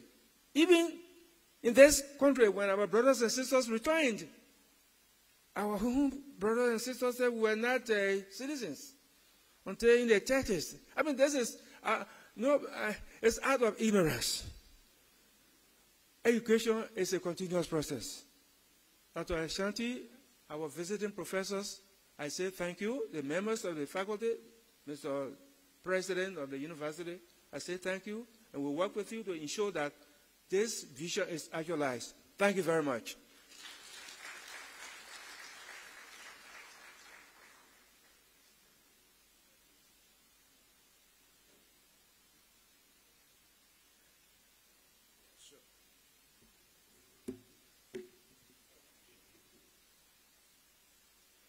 Thank you, thank you, Honorable Representative Matthew Zarzar of Sinoe County, who is also the chair of the UL Board of Trustees. Thank you very much. One of the legacies of this international conference is certainly the establishment of the Center for Migration and Diaspora Studies. Um, thank you very much. Okay, uh, we are uh, proceeding quite well. We had a small challenge at the beginning.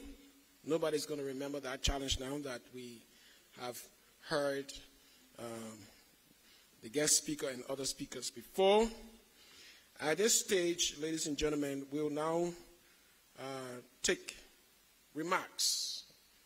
Uh, we have here several institutions and individuals who we've invited to proffer uh, greetings or remarks. Uh, so we're going we're gonna make a segue now to our first, uh, the first person who will make, uh, bring his, his greetings, and, and that will be Mr. John L. Archibald, who is the president of the Trustees of Donation for Education in Liberia, TDL. After trustees Archibald's remarks, we will pause the remarks and take a special selection from the UL chorus.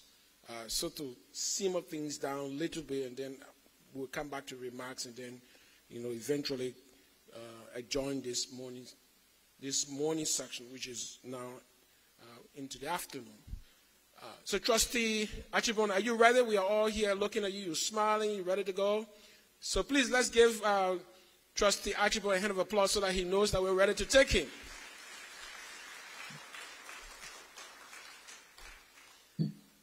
Hello, can you hear me? Yes, we can hear you loud and clear. Wonderful. Thank you very much. Uh, I'm speaking to you from Boston, Massachusetts. You do not want to be here. It's minus 10 degrees centigrade certainly don't need air conditioning here. I'm the president of the Trustees for Donations for Education in Liberia, a nonprofit foundation that's been supporting higher education in Liberia since 1850. Very impressed with the scope and the range of this international conference, and we're very honored to be invited.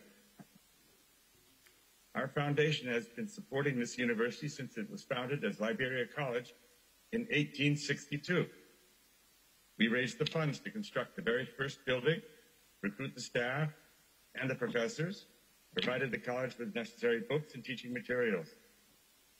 And the college has grown and now has become the University of Liberia, and we have continued our support. One example is the Graduate Computer Lab at Fendall.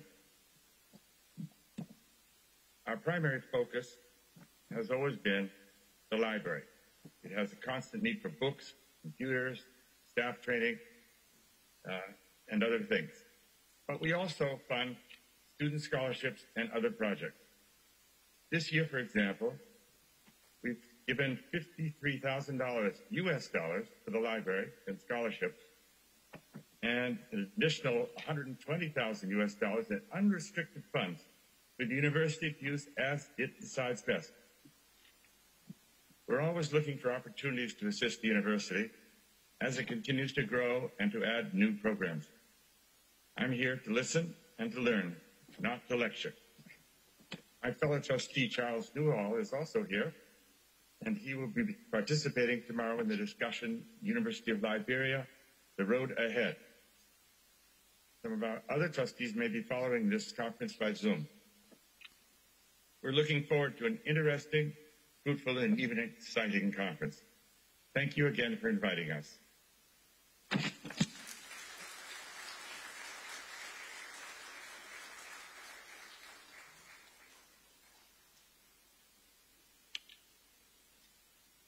Thank you very much, Trustee. Uh, we look forward to having you here next year when we celebrate the Founders Day. Uh, you and uh, members of your your trustees. Uh, we certainly appreciate the tremendous contribution that the trustees of donations for education in Liberia continues to make on behalf of the University of Liberia. Also following us live um, are several people, but one such individual is former President Dr. Al Hassan Conteh, uh, who is Liberia's ambassador to the Federal Republic of Nigeria.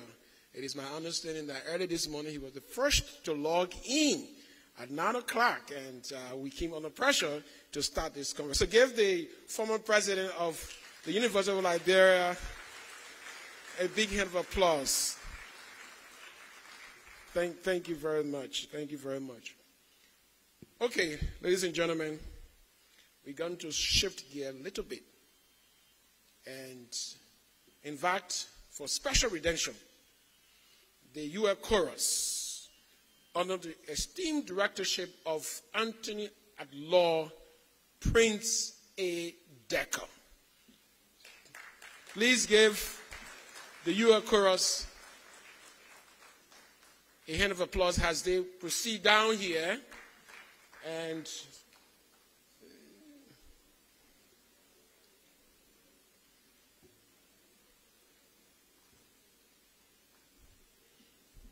They are in their official regalia, the colors of the University of Liberia, red, white, and blue. And they have been practicing some songs that we have not heard before. And just, I'm, I'm sure they're going to be a, the song version of Dr. Molefi's speech.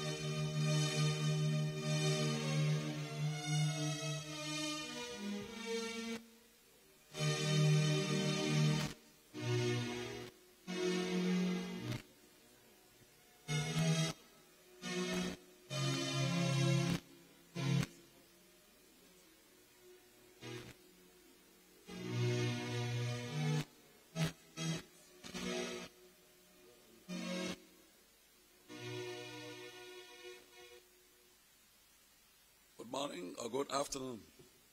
Contemporaneous upon the event of today, which is the Founders' Day, the University of Liberia will sing the birthday song of the University of Liberia, which is the University of Liberia Road first, and then we'll do a national song, and then another song in Kru, the Klao dialect, Kabena Dana Susunate.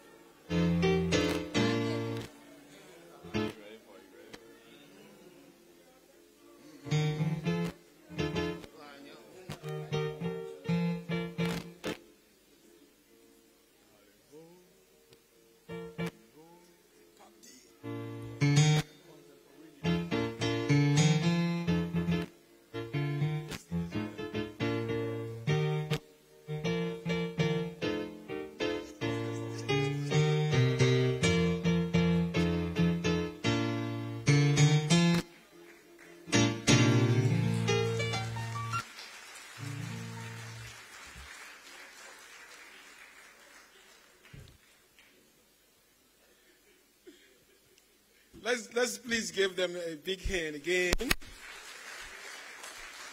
The UL chorus in their full representation, in their full renaissance. So we are branding the University of Liberia. So we are UL, UL.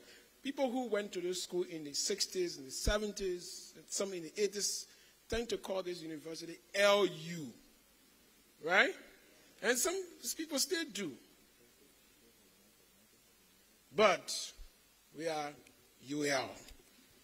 This is we are, UL. So this conference should, you know, clearly reiterate who we are, UL Renaissance. Thank you, UL Chorus, for such a splendid performance as always. If you want more of the UL Chorus, please, we'd like to invite you next week at our commencement convocation, 102 commencement convocation, and the UL chorus is often on remarkable display during the entire week of convocation.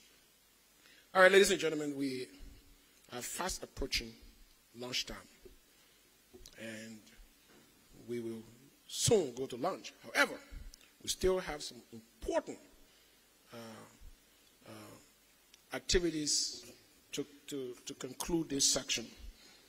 After lunch, we will make a segue into our panel discussion. And, you know, everybody in this hall is anxiously waiting for that panel discussion. But I'd like to uh, announce that because of a pressing engagement, uh, the uh, special envoy of the President of the Republic of South Africa, who is also ambassador of South Africa to Guinea-Bissau, has to leave. So we'll, we'll ask uh, Dr. Judith Taylor to please escort the uh, ambassador uh, outside as we um, proceed with the rest of the program. Ambassador, thank you very much for coming. Uh, please come again.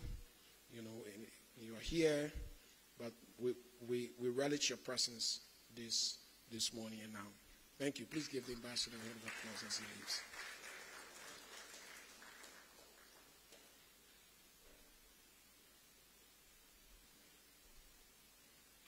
Thank you very much.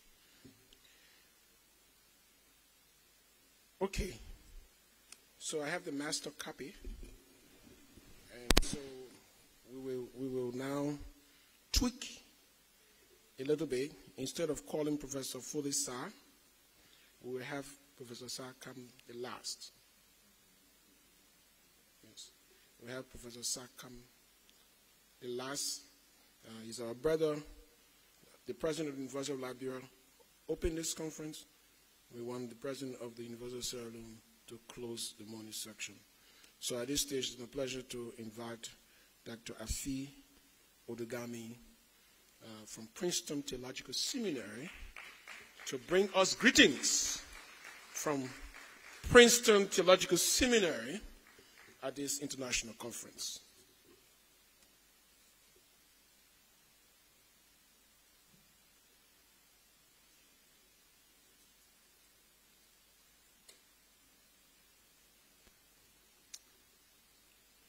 Good afternoon. President Nelson, thank you for inviting me. And I'm standing here to bring greetings from uh, my president, Professor Craig Barnes, Princeton Theological Seminary. Uh, I know the day is already uh, fast spent, and uh, having listened to uh, Dr. Asante, I do not want to give uh, another speech.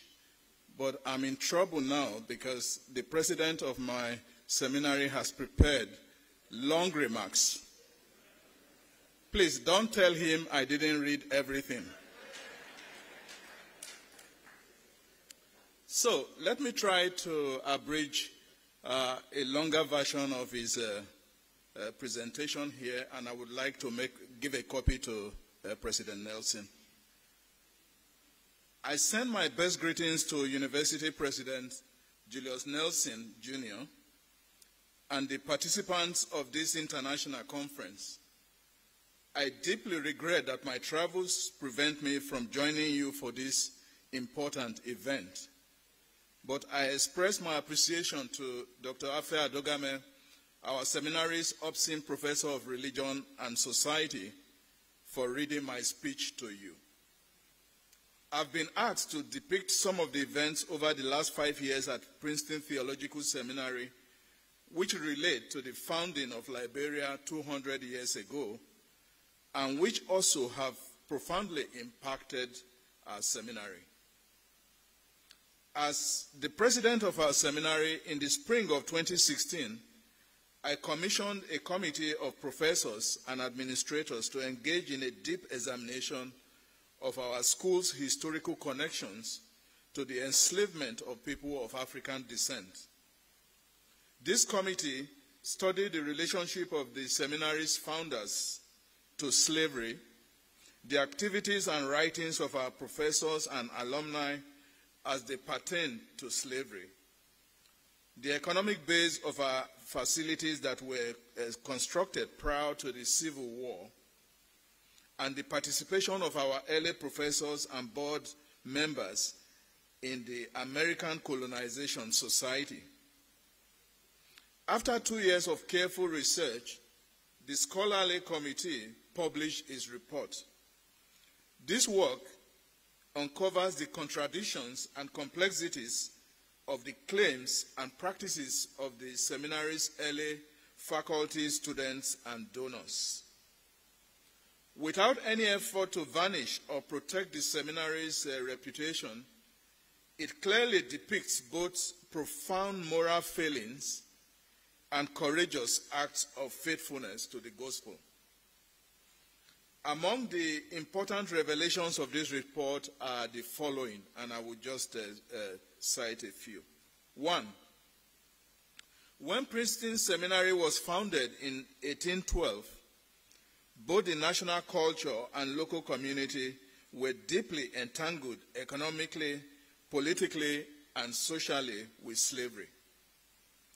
By this time, the slave economy, though rooted in the southern states, had made its way into every aspect of life in the United States.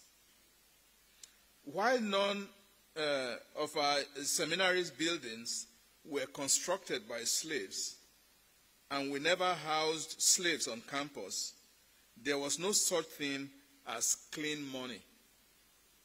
So while only 15% of the seminary's early endowment contributions came from slave owners, all of our funding came from people who somehow benefited from slavery.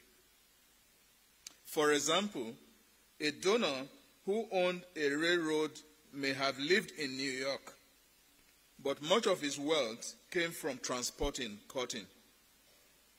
Even to buy or sell a cotton shirt in Boston made one complicit with an economy driven on the back of slaves. Two, the seminary's founders had a complicated relationship to slavery, like many of their generation in the northern states. The first three professors of the seminary, Archibald Alexander, Samuel Miller, and Charles Hodge, all used slave labor at some point in their lives. Princeton Seminary faculty, board members, and alumni were deeply involved in the American Colonization Society, which advocated sending former slaves to Africa. Though many of its members opposed slavery in principle, they feared immediate emancipation would cause social upheaval. The society was founded in 1816 by, among others, Robert Finley, a pastor and board member of the seminary.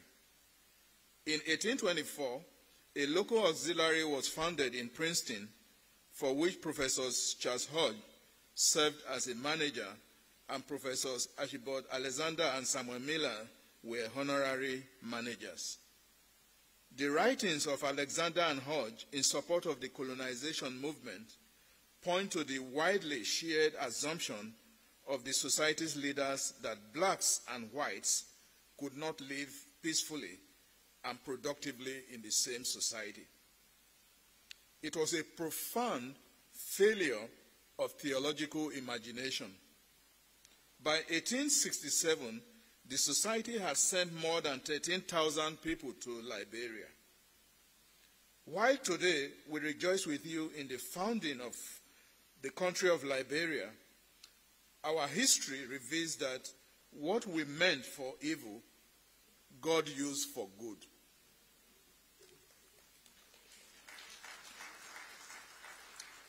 So this research uh, contains many more details I don't have time to go into here, which provides a critical reckoning with our complicated past with slavery. Significantly, our goal in launching this research was not only to confess the tru- uh, truth about what did happen, but also to uncover the roots of what uh, does happen. Thus, the true motivation for slavery audit that was conducted at Princeton Theological Seminary was to discuss the ongoing legacy in racism in our seminary. This reckoning with our past means that every member of the seminary community has to own this legacy as our history and seek its redemption through a more just and equitable way of uh, living together. There are well over 100 schools of higher Uh, education in the United States engaged in this research about our institutions, which is part of a national re- reckoning with how deeply grounded they are in the slave economy of the 18th and 19th centuries. They have created a new consortium called Universities Studies Studying Slavery, which our seminary has joined. So, at its board meeting in October 2019, the seminary's trustees unanimously adopted a multi year plan to repent for the school's relationship to slavery and to commit to tangible action to shape the future of our community of faith and scholarship in meaningful ways. Together, these responses account for over a million dollars a year in expenditures from our annual operating budget. The seminary knows we can never fully pay the debt we owe to the descendants of slaves, but we can make acts of repair which seek to redress historical wrongs and redeem our legacy of racism as we strive to be a more faithful witness to the reign of God. Among our acts of repentance are the following. Again, I will just uh, mention two or three. One, honoring the legacy of the African American experience in the Princeton Seminary through the names of prominent campus spaces, which has included A, naming the new library after Theodore Sedgwick Wright, B, naming of the Betsey Stockton uh, Center for Black Church Studies, C, disassociating, disassociating the name of Samuel Miller from the seminary chapel. D. Establishing a board task force to develop theological principles and practice, uh, processes as guidelines for reviewing the names of all sites and honors on campus. E. Developing a permanent historical exhibit in the Wright Library to interpret the seminary's history uh, with slavery. Two, offering new scholarships for students uh, uh, are who are descendants of slaves or from other historically disenfranchised community to ensure that a seminary education is affordable and does not further contribute to the disproportionate debt uh, burden of students from these communities. So, for instance, uh, at any time, this means the seminary is maintaining a total of A, 30 Francis Grimke scholarship for master's degree students, which includes full tuition plus $15,000 per year in living expenses. B, five Peter Parrish scholarships for, five, for PhD students, which includes field tuition plus $35,000 per year in living expenses. Advance scholarship and promote learning about the legacy of slavery in America and African American perspectives on faith. One of the commitments is to hire an accomplished professor of African American Christianity whose research will give critical attention to the legacy of slavery in the African experience and ecclesial life. B. Continue to recruit faculty of color in all departments. C. Fully fund the Betsey Stockton Church a Center for Black Church Studies, including hiring a full-time director. D highlight the seminary lecture, lectureships that focus on the African American experience, including the Geddes Hanson lecture, the Martin Luther King Jr. lecture, and the Patria uh, Hall lecture. Finally, contribute to conversations in the broader academy, church, society, and world about the legacy of slavery. So these are some of what we've uh, attempted to do. A, join the University Studying Slavery Consortium of other institutions of higher education that are conducting this research and ongoing work. B, create offerings through the Department of Continuing Education that explore the legacy of slavery in America and make the findings of the historical audit available to the broader church and academy. C. Develop relationships with African American congregations and historically black colleges and, and universities like Howard and Lincoln universities. D. Through the seminary's uh, project, develop learning opportunities to pursue the restoration of the broken relationship between the church and the land caused by slavery and its legacy. E, in partnership with the Smithsonian National Museum of African American History and Culture and Howard University, co sponsor a conference in Washington, D.C. on slavery and its manifold afterlives. F, in partnership with the University of Liberia, co sponsor a conference in Liberia on the topic of the legacy of the American Colonization Society.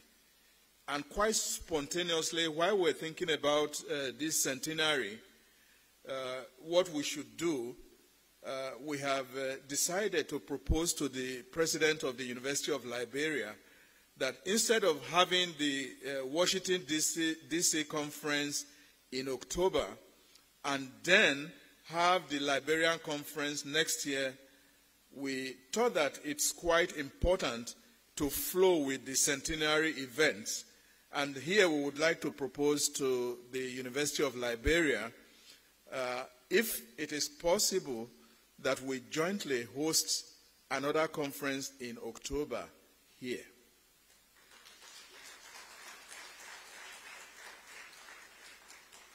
So, to conclude, the Board of Trustees uh, also established a timeline for the completion of these promised promises to the uh, slavery audit, all of which should be completed by the fall of 2024.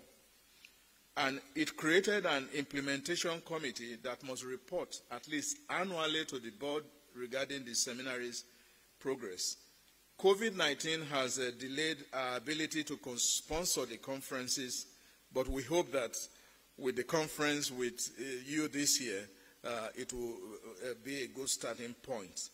So, uh, our de devotion is to continue to listen, learn, reform, and collaborate with other schools and churches, both in our country and around the world, in serving the peace filled, just reign of Christ on earth and we certainly look forward to future opportunities to work with the churches and schools of Liberia.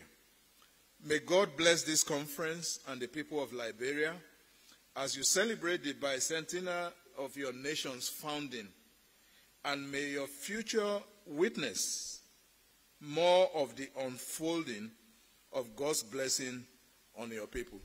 Thank you.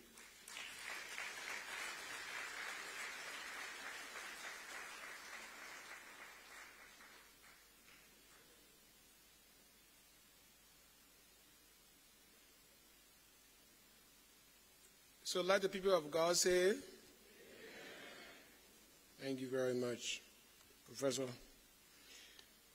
Okay, so um, we are almost there.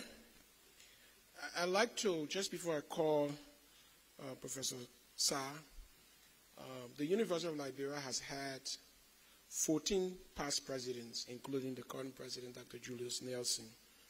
And, and so it's fitting, since we're celebrating the uh, founding of the university, we have one past president, and certainly uh, bring us special remark. So it's my pleasure to invite Dr. Ah Hassan Conteh, who will bring us uh, brief remarks on behalf of past presidents of the University of Liberia. He was the 11th president of the University of Liberia. Professor Dr. Conteh, please, we are listening. Thank you very much. Uh, on behalf of the, uh, all the former presidents of the University of Liberia, let me extend greetings to President Nelson and the UL for blazing the trail in organizing this uh, Founders Day uh, International.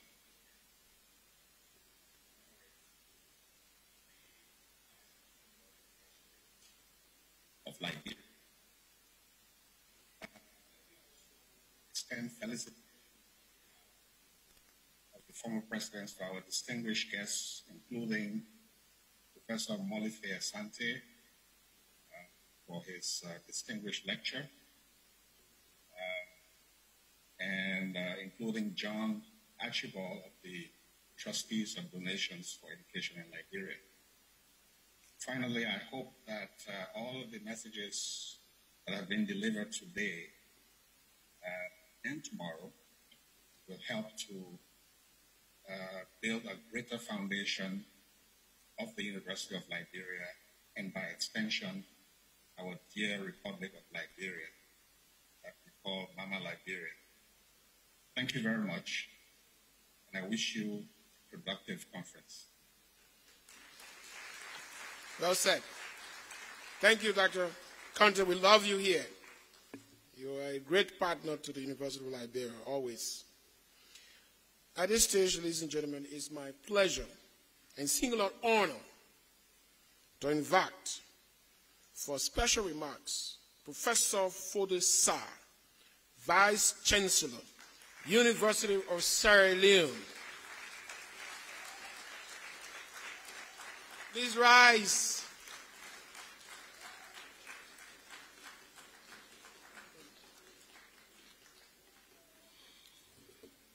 Thank you, Mr. Moderator. Um, Mr. Moderator, I beg to stand on existing protocols. Good afternoon, all. I want to start by thanking the administration of the University of, of uh, Liberia, um, especially Professor Nelson, for extending an invitation to the University of Sierra Leone to join them in this memorable occasion.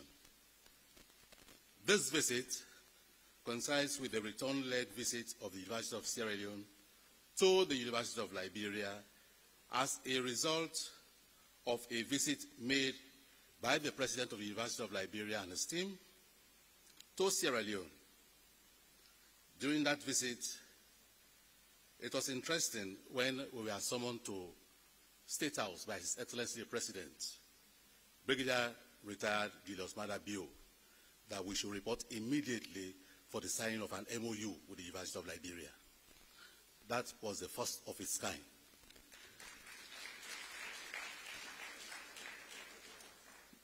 Never in the history of any higher learning institution in Sierra Leone has an MOU been signed at State House. So that was a special one.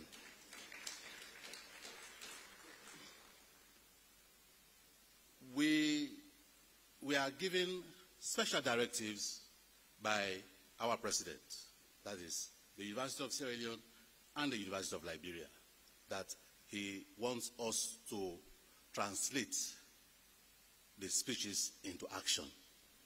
And immediately after that signing, we started work, the two administrations behind the scene, to make sure that we actualize all that was contained in the MOU. That is why today we are here, a high power delegation. We came with all those that are responsible for decision making in the University of Sierra Leone to make sure that we complete all the elements in the MOU. There is no say that, okay, let's draft something when we go back to Freetown, then before we start implementing. No. Everything is going to be completed here. We, me, we have the Deputy Vice Chancellor of the Fourah Bay College, which is the oldest institution, Professor um, Joseph Kamara is here. The Deputy Vice Chancellor of the College of Medicine and Allied Health Sciences also is here, Professor Samai. The Deputy Vice Chancellor of the Institute of Public Administration and Management, Professor Noni, is here. And we have the uh, Dean of Postgraduate Studies in the University of Sierra Leone, Professor J.D. Ali, is also here. We have the Registrar of the University, Mrs. Uh, Olive Barry, and the Finance Director, Walter Amake, is here, and the University Librarian, Professor Conteh Morgan, Mrs. Marion Conteh Morgan, Associate Professor, is always also here. And we have deans of faculties and the director of quality assurance and strategic planning, also came with us to make sure that we cement whatever we are going to start before we leave here.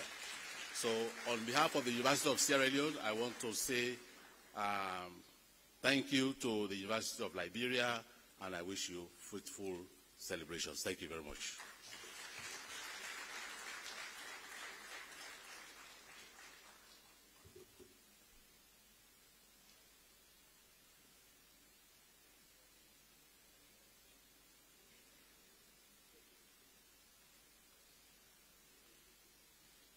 Good. A hand of applause for the distinguished Vice Chancellor.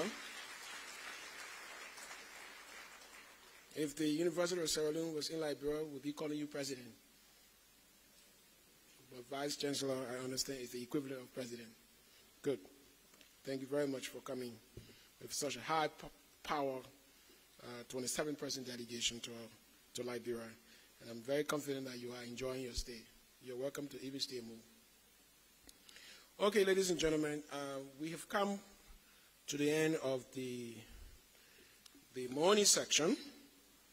Um, I think we have exhausted.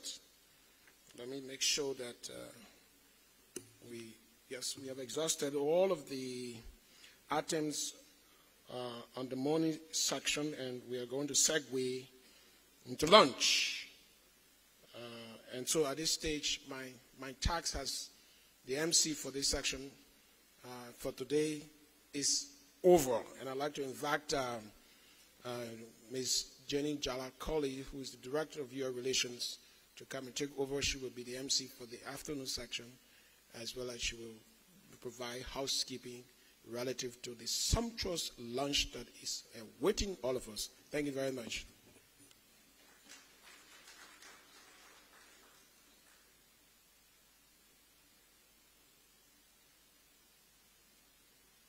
Thank you, Honorable Chair of the Planning Committee, for such a great emceeing during the first section. Thank you very much. I mean, we can see the work is still going on, so thank you. I know you will rest after tomorrow. Thank you very much. Um, for housekeeping, the first six rows in the front, please, there are protocol officers in black and white. They will direct you to your lunchroom. The second row in the back, after the first six rows that carry the deans and academic directors, you will join the first five and six rows to go to your lunchroom, which is on my right. Uh, rest of the our very important delegates will proceed downstairs uh, for